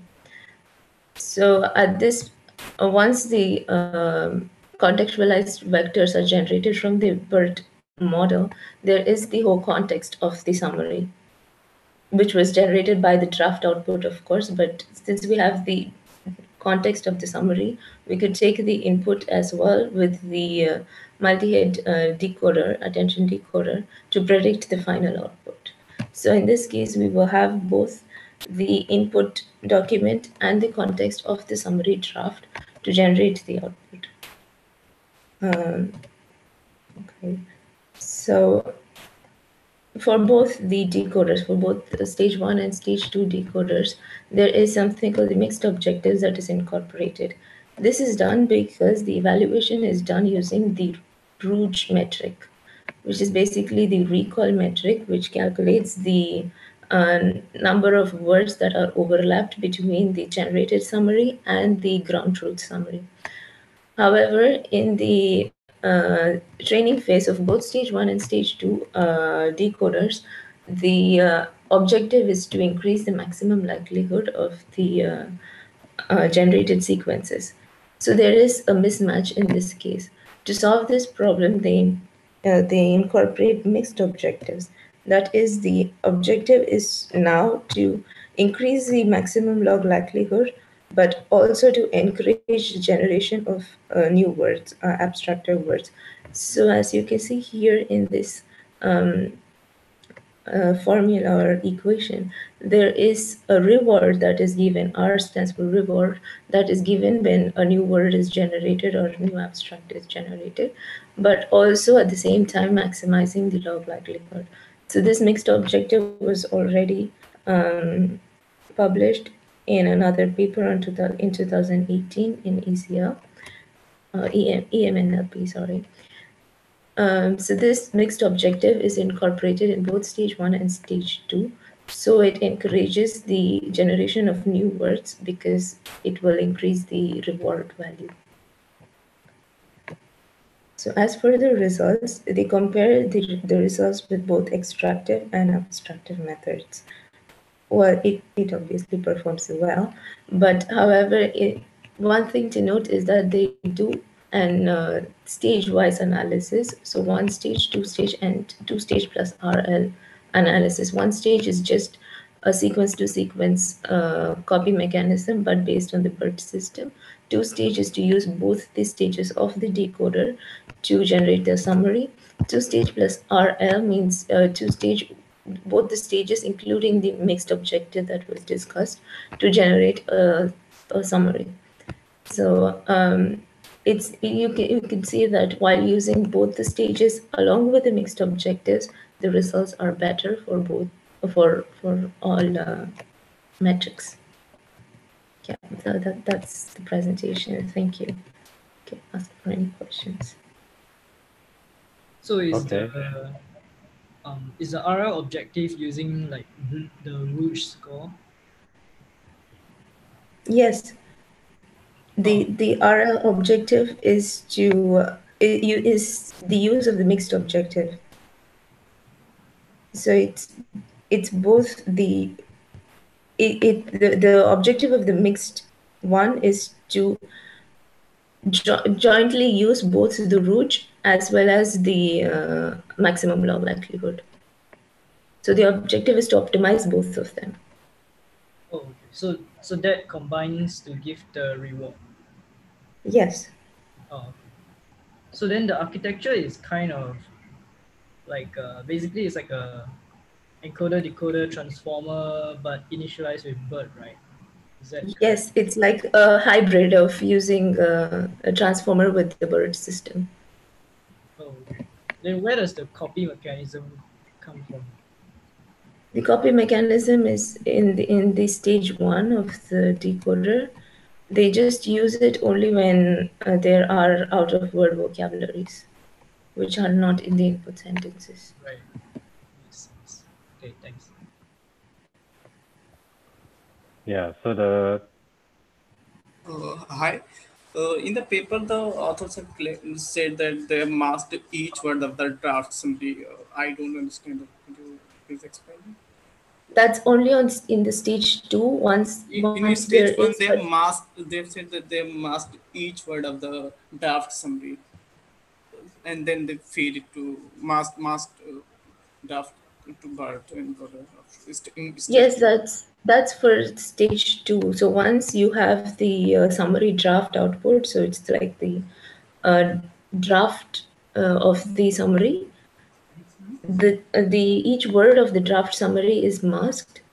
And how does that work? Then the, the masked masked tokens are fed to the BERT. So like whole whole draft summary will be masked. No, not the whole whole draft is not masked. At at at time t, the teeth word is masked, and the word can gener- generate the context vector based on the other other words.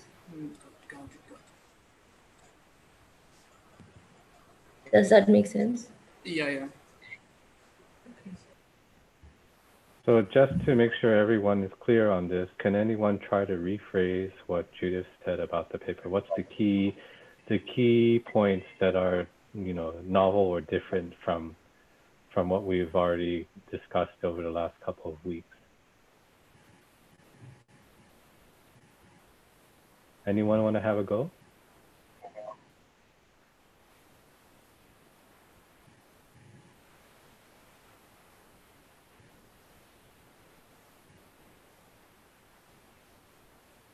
do give it a try?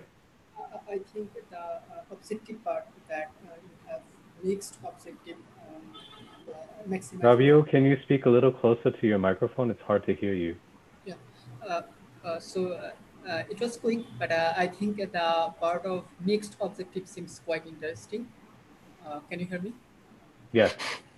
So first, there is a, maximum log likelihood scenario where you maximize that and then also the uh, uh, other part of the maximization. I think both of these consideration made the uh, somewhat improvement, but overall, yeah, and then that's it. Yeah. Okay. Uh, so Romain and uh, uh, also mentioned something in the chat, right? So Romain, do you want to unmute and, and say? Oh, you're, you're answering Laiba's question, right? Okay, so there was a question if you cannot see it on the chat, right? Can um, the refining stage, the second stage of the summarization process, further change the length of the summary draft, or is it better? Is it just trying to fix the wording? Um, by using BERT to uh, mask out the target word and then regenerate the word that's uh, masked at that time. Right. So, uh, Romain, do you want to unmute and, and say what your answer is to that?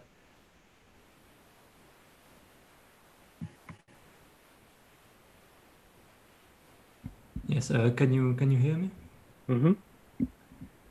So, um, as far as I understand, the uh, the the BERT decoder in stage two is used to uh, replace uh, on a word by word basis.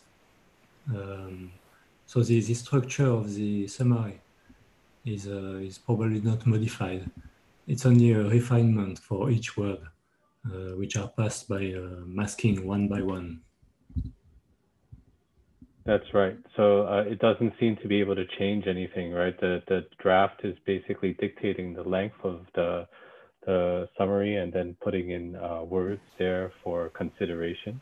And then the refinement process is choosing uh, the refining based on the BERT uh, work, right? So um, here it's also not clear to me whether the copy mechanism that's used in the uh, previous process is going to be preserved um, on the outside, right, on the second stage. So I don't know whether there's any specific parameter or marker that tells us whether a word is generated by copy directly from the source or whether it's um, pulled pulled from the other process. Uh, other questions that you guys have?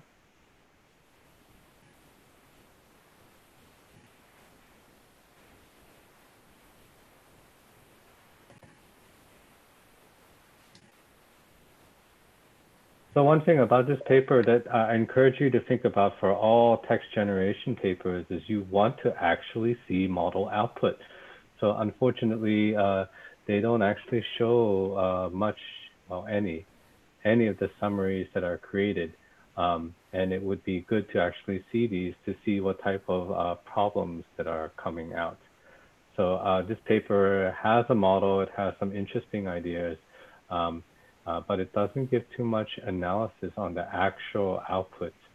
Um, you know, uh, so that that's uh, a concern. I, I, would say for for many people in generation is you, you do want to have some good idea of what, what's actually being output. Um, so that you can verify it with your own eyes and, and then do a fair apples to apples comparison so that you leave um, one, one part of your model out using ablation, and then you can study the effects of how, how that uh, particular variable uh, missing out uh, would, would influence the results. Okay, so any of you doing generation uh, for summarization may, may think about this work as a, a baseline for your projects if you're, you're face, thinking in this direction. Okay, so let's thank Judith uh, for her presentation. Okay, uh, and let's go to our last paper uh, of the day. So um, let's see who is going to give that paper.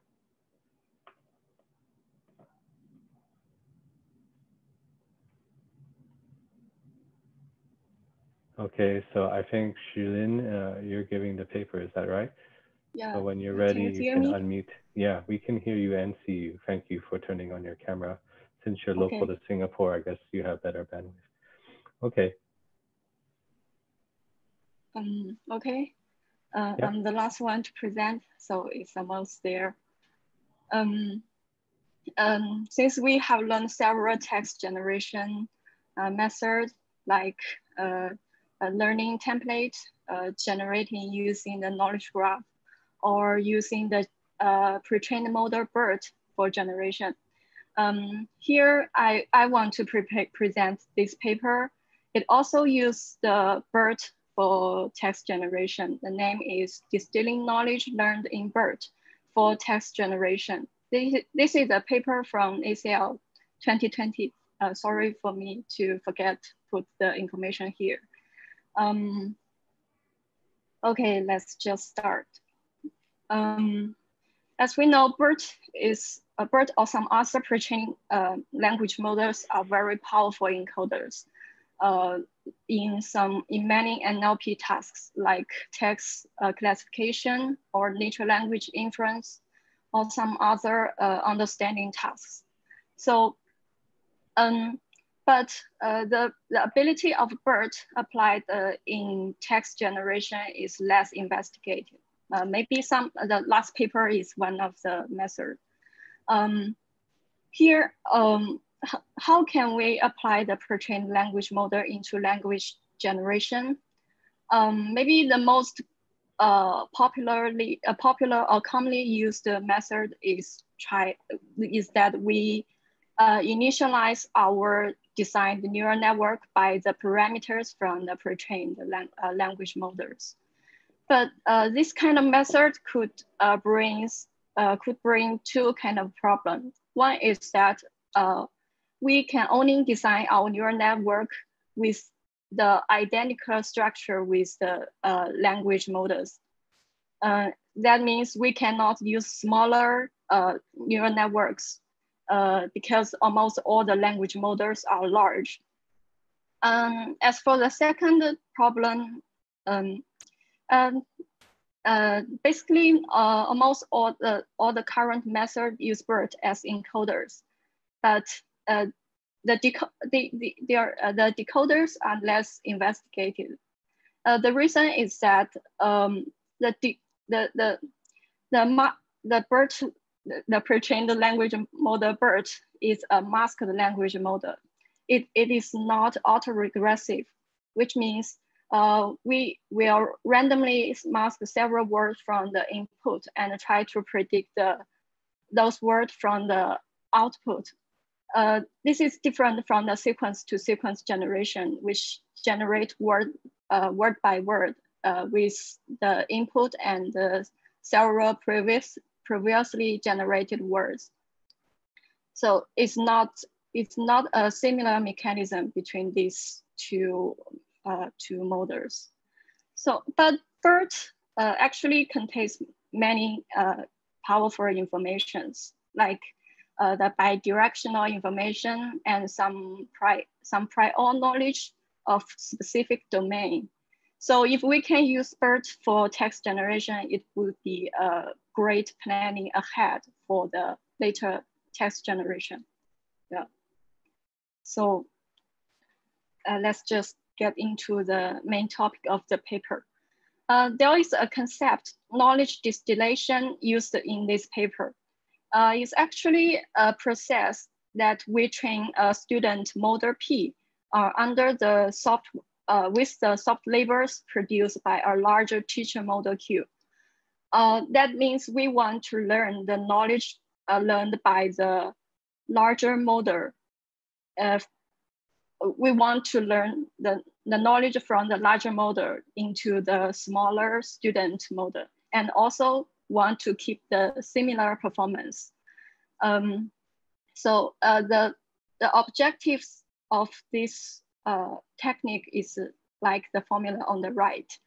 Uh, it has two, uh, two, two targets to optimize. One is the, uh, the loss between the soft labels produced by the pre-trained large model with the student, uh, student model's prediction.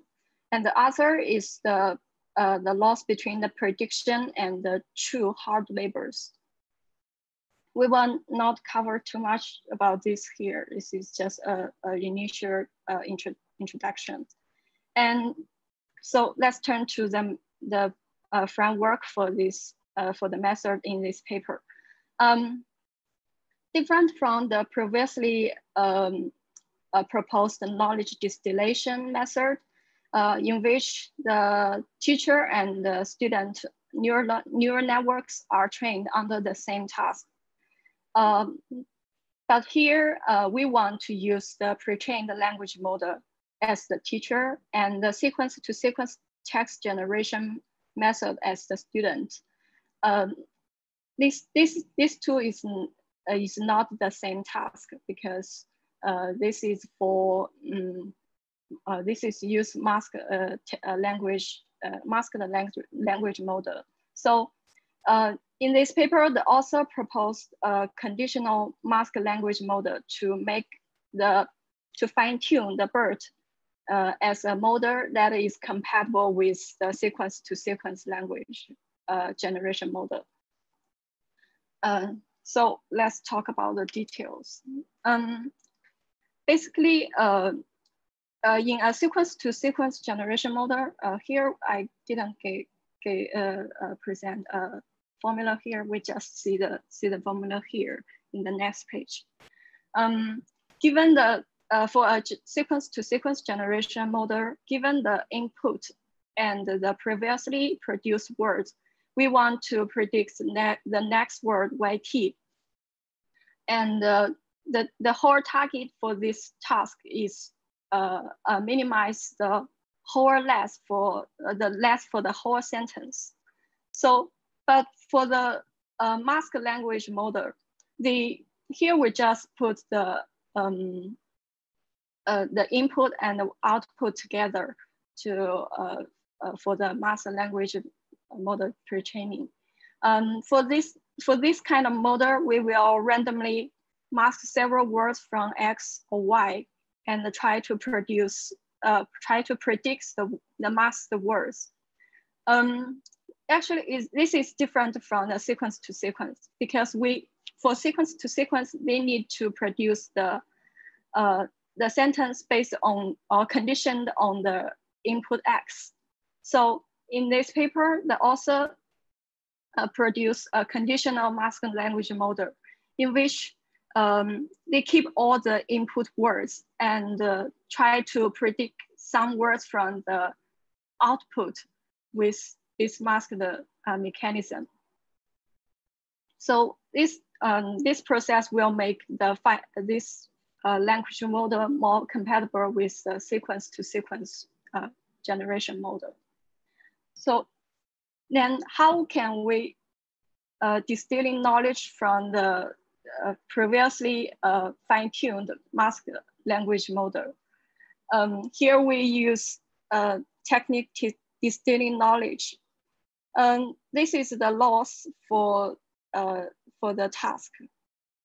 Um, actually, uh, the, the loss by directional is uh, a cross entropy loss between, um, is a cross entropy loss, except that the um, the ground truth label is not the, uh, the hard label, but the continuous log produced by the uh, fine-tuned BERT.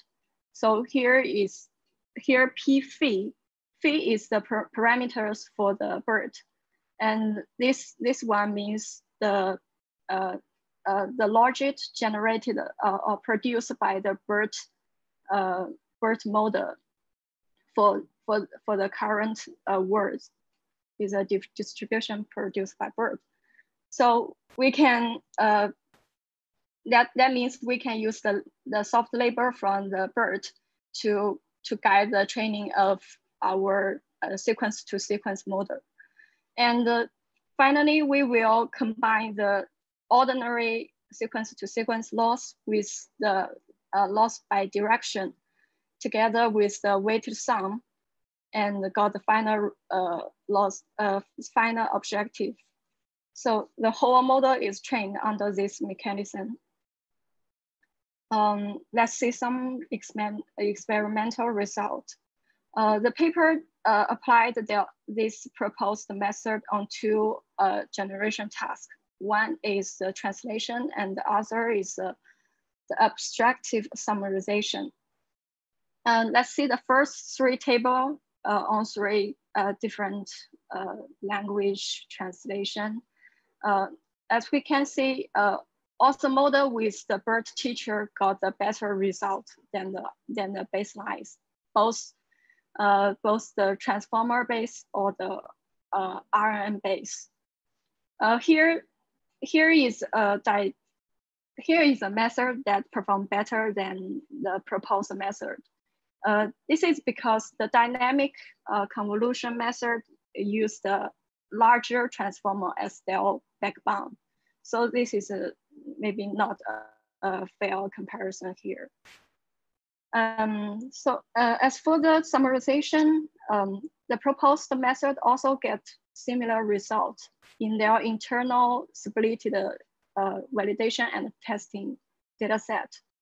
Um, they do this because they found a disparate uh, distribution between the original uh, uh, validation and testing data set. So they just uh, split the original validation data set into two halves. One is for the validation and the, the other for the testing. Uh, the, this table is, is, is a result for the original split, splition um, as we can see, we can also, uh, this method can also get a comparable result, but um, uh, it seems uh, okay. Okay, so um, this uh, in this paper, they also do some ablation study on their uh, on their proposed method. Here, the transformer plus BERT L to R means uh, they fine tune the BERT with the left left to right generation uh, pattern. Uh, uh, as we can see, the result is even plural, plural than the transformer base because uh, the reason may be that the left to right generation could uh, could perform an opposite effect on this generation um, task. Uh, and also there is the transformer plus BERT small. This means uh, they use a smaller BERT version, uh, which only use only have has uh, six layers for uh, multi-head attention, that kind of uh, operations. Um, as we can see, this this method also this uh, method also got a got a better result than the transformer base. That means even uh, we use uh, the smaller BERT uh, version to guide to uh, uh, the knowledge from the smaller version of BERT. We can also get some performance uh, promotion. So also there is some analysis on this method. Um, this paper tried to investigate the the BERT teacher performance with the generation lens. Uh, from these diagrams, we can found that um, BERT teacher could generate better results when the uh, when the length is longer. As we can see, the, the, the, the yellow ones are better than these blue ones. But uh, this method lose their advantage when the length is too small. Um, I think this result may be because that uh, the BERT can have some prior information. So even when the when the generation length is long, uh, the BERT can also can still have some information for for generation, and the uh, this the BERT can resist the loss of memory or loss of uh, information from the previous words. Um, so they can uh, so this this BERT teacher can produce more meaningful words um, when when the length is long.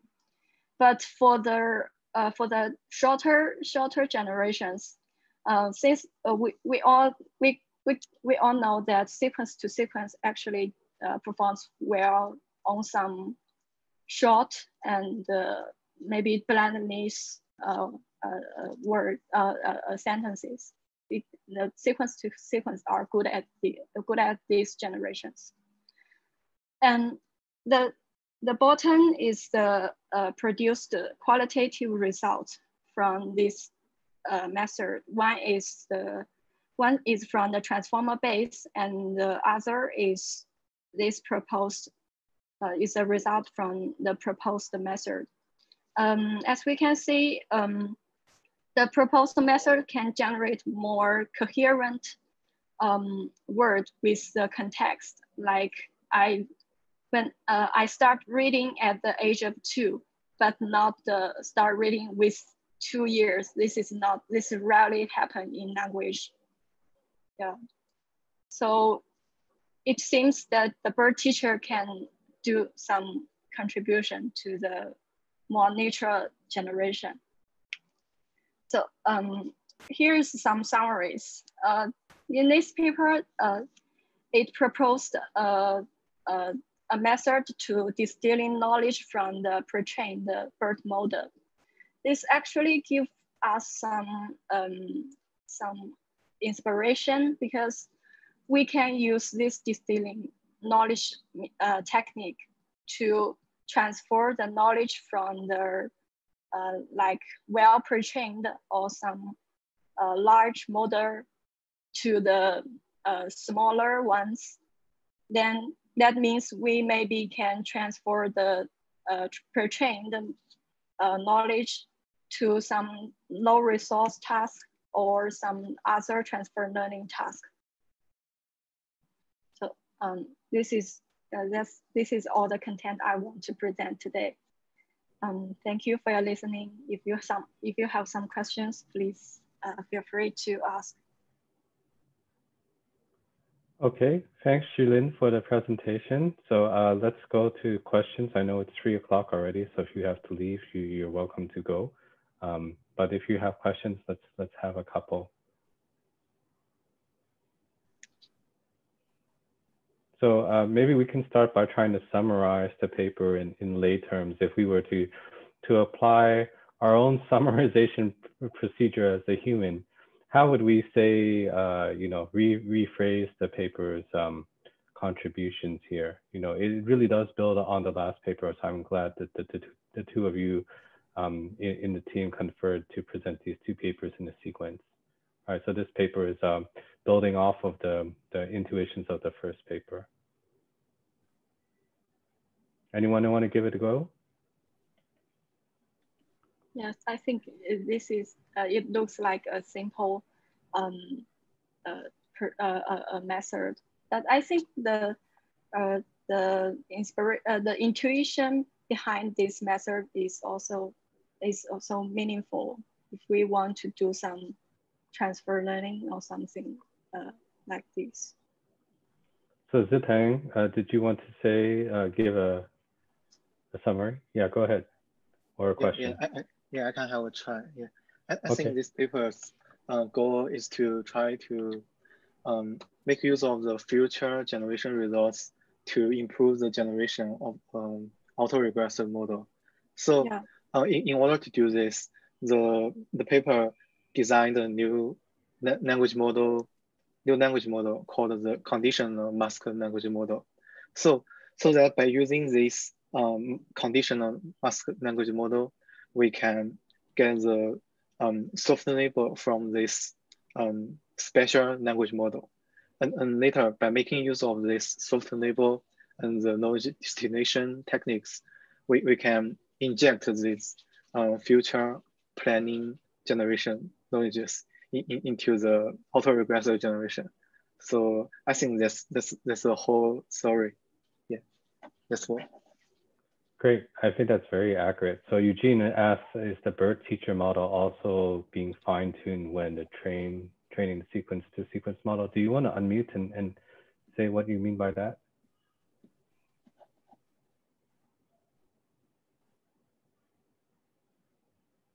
Hello.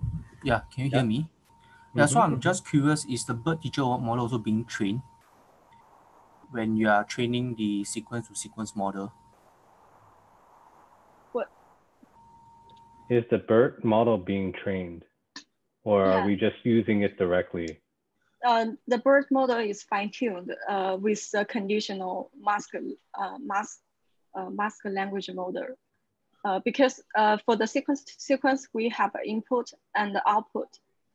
for, for the for the general BERT language BERT language model, they just mask, uh, randomly mask several words from the input and try to predict.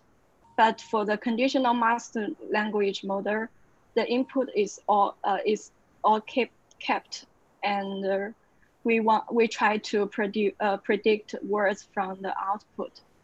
So it kind it kind of simulates the, the, the process of sequence to sequence. So the BERT model being used is actually a fine-tuned BERT. Am I right? What? It's a fine-tuned BERT that is being used. Yeah, it's, it's fine-tuned, and the, the fine-tuned BERT model was used in in this distilling process. Okay, thank you.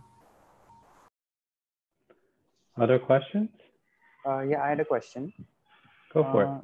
Yeah, so uh, they said that while uh, in BERT, uh, when BERT does masked language modeling, uh, in this are both X and Y tokens were masked, right? But while they were noise distillating from the BERT, they only masked the Y part of it. They only masked the Y tokens. So was it so? I mean, why didn't they try it with X part also? Uh, you mean why we mask the right part of yeah, uh, yeah this, this Y? Yeah. Yeah, because we want to predict words uh, in the output. So uh, we try to uh, uh, uh, uh, uh, fine tune the BERT on such a mechanism. We can, we can uh, produce word uh, from Y uh, we conditioned on X and some other part from Y. This, I think, um, it's an intuitive yeah. process. Did that answer your question uh, yeah. about Fidia? Yeah. Okay. So yeah, we, we are trying to use it. Uh, I mean, BERT was not originally conceived for natural language generation, right? It's just a pre-trained language model. So uh, the idea is uh, basically, you know, can we use these huge pre-trained models um, that we get from other sources and then find a way to use them in natural language generation, right? So the whole problem here is that when we're using uh, them for natural language generation, we're generating the input uh, in the current state of the art, uh, probably not something that we really want to do is generate from uh, right, uh, left to right, right? I mean, you can see, like we talked about this last lecture too, like when you generate natural language, you are not actually doing it from left to right. There's some mental model going on and you have a hierarchical structure most likely going on in your thought process, and then you have to linearize it out as a sequence of words, right? But the current state of the art is basically just left to right. So um, what, what they're trying to get around here is the fact that BERT gets to look at the entire uh, sequence, right? Uh, feature tokens as well, and to add that in. Um, so I'd like you to also think about this model. If you look at the analysis that Shilin presented at the last couple of slides in the the studies on this slide, yeah, you can see that the places where it tends to get better are longer sentences, but that the, the, the, the, the help from BERT is fairly limited. I mean, if you look at the phrases that are underlined that have been corrected, they're not very long. They're only about um, four to five words long. So the type of forward info, um, you know, the, the future information that's being helped in the language generation process here in BERT is still very, very local. It's just within a phrase, you know, and I think that the curious thing to say is like, if I were to generalize this idea of looking future in the future context, how could I structure natural language better? And you see that in some of the papers that we previously looked at, like in the, the graph generation paper, right? It's the idea of using information about how the entire sentences or entire claims are structured within an abstract that help you produce global coherence. So that one is a more global nature paper, and this is a much more local uh, uh, paper because you know BERT is somewhat local. It's only looking at the context within a single sentence, right? So um, you can think about what natural language is heading towards. You know, we we have all of these very simple left to right models, but they don't. We we I don't think anyone believes that that's the way that people or that we want processes to actually generate natural language, right? If you look at traditional natural language work, it's always that you have um, uh, what they call a, a, a strategic planner as well as a tactical planner. The strategic planner is basically, you know, strategizing the text, like the argumentative, what you're trying to accomplish, like say that the um, pragmatic uh, idea, why, why are you talking in the first place, right? And then the uh, tactical generation is what we're doing in all these pre-trained language models and things like that, right? It's just concerning which words go together to convey a sentence. And right now we're still at the part where we're just saying, okay, well, if I already said this, what's the next thing that I should be saying? That type of thing, right? So it's very, very limited. So I, I think you'll see within the next uh, three to four years, a lot more work on these types of ideas, but taken up a notch. And when I mean up, I mean hierarchically up to the uh, um, constituent level when you're trying to plan out a whole sentence, what's the sentence structure? Rather than left to right n-grams, right, which is what we're doing right now and then from the constituent level to the, the clause level, and from the clause level to the sentence, and the sentence to some argumentative structure. So if you know rhetorical argument structure or or discourse, right? When you're when you're uh, giving an utterance or uh, uh, a paper, there must be some persuasive form why you're saying all those sentences in the first place. So those types of things are completely, completely missing from BERT completely missing from all of the natural language models that we have. Because remember, we are talking about language models. Those are n-gram models. I mean, how limiting is that? You're just talking about, you know, what's the words left and what's the words to right, okay? Who cares what the whole sentence or, or, or, or the essay is about, right? So um, I, I, think we are at some type of um, nice locus point where you can sort of predict, you know, you can use your own mental BERT model about research and predict what's in the future, right? And then try to draw out what's going to happen in, uh, in the local context, okay?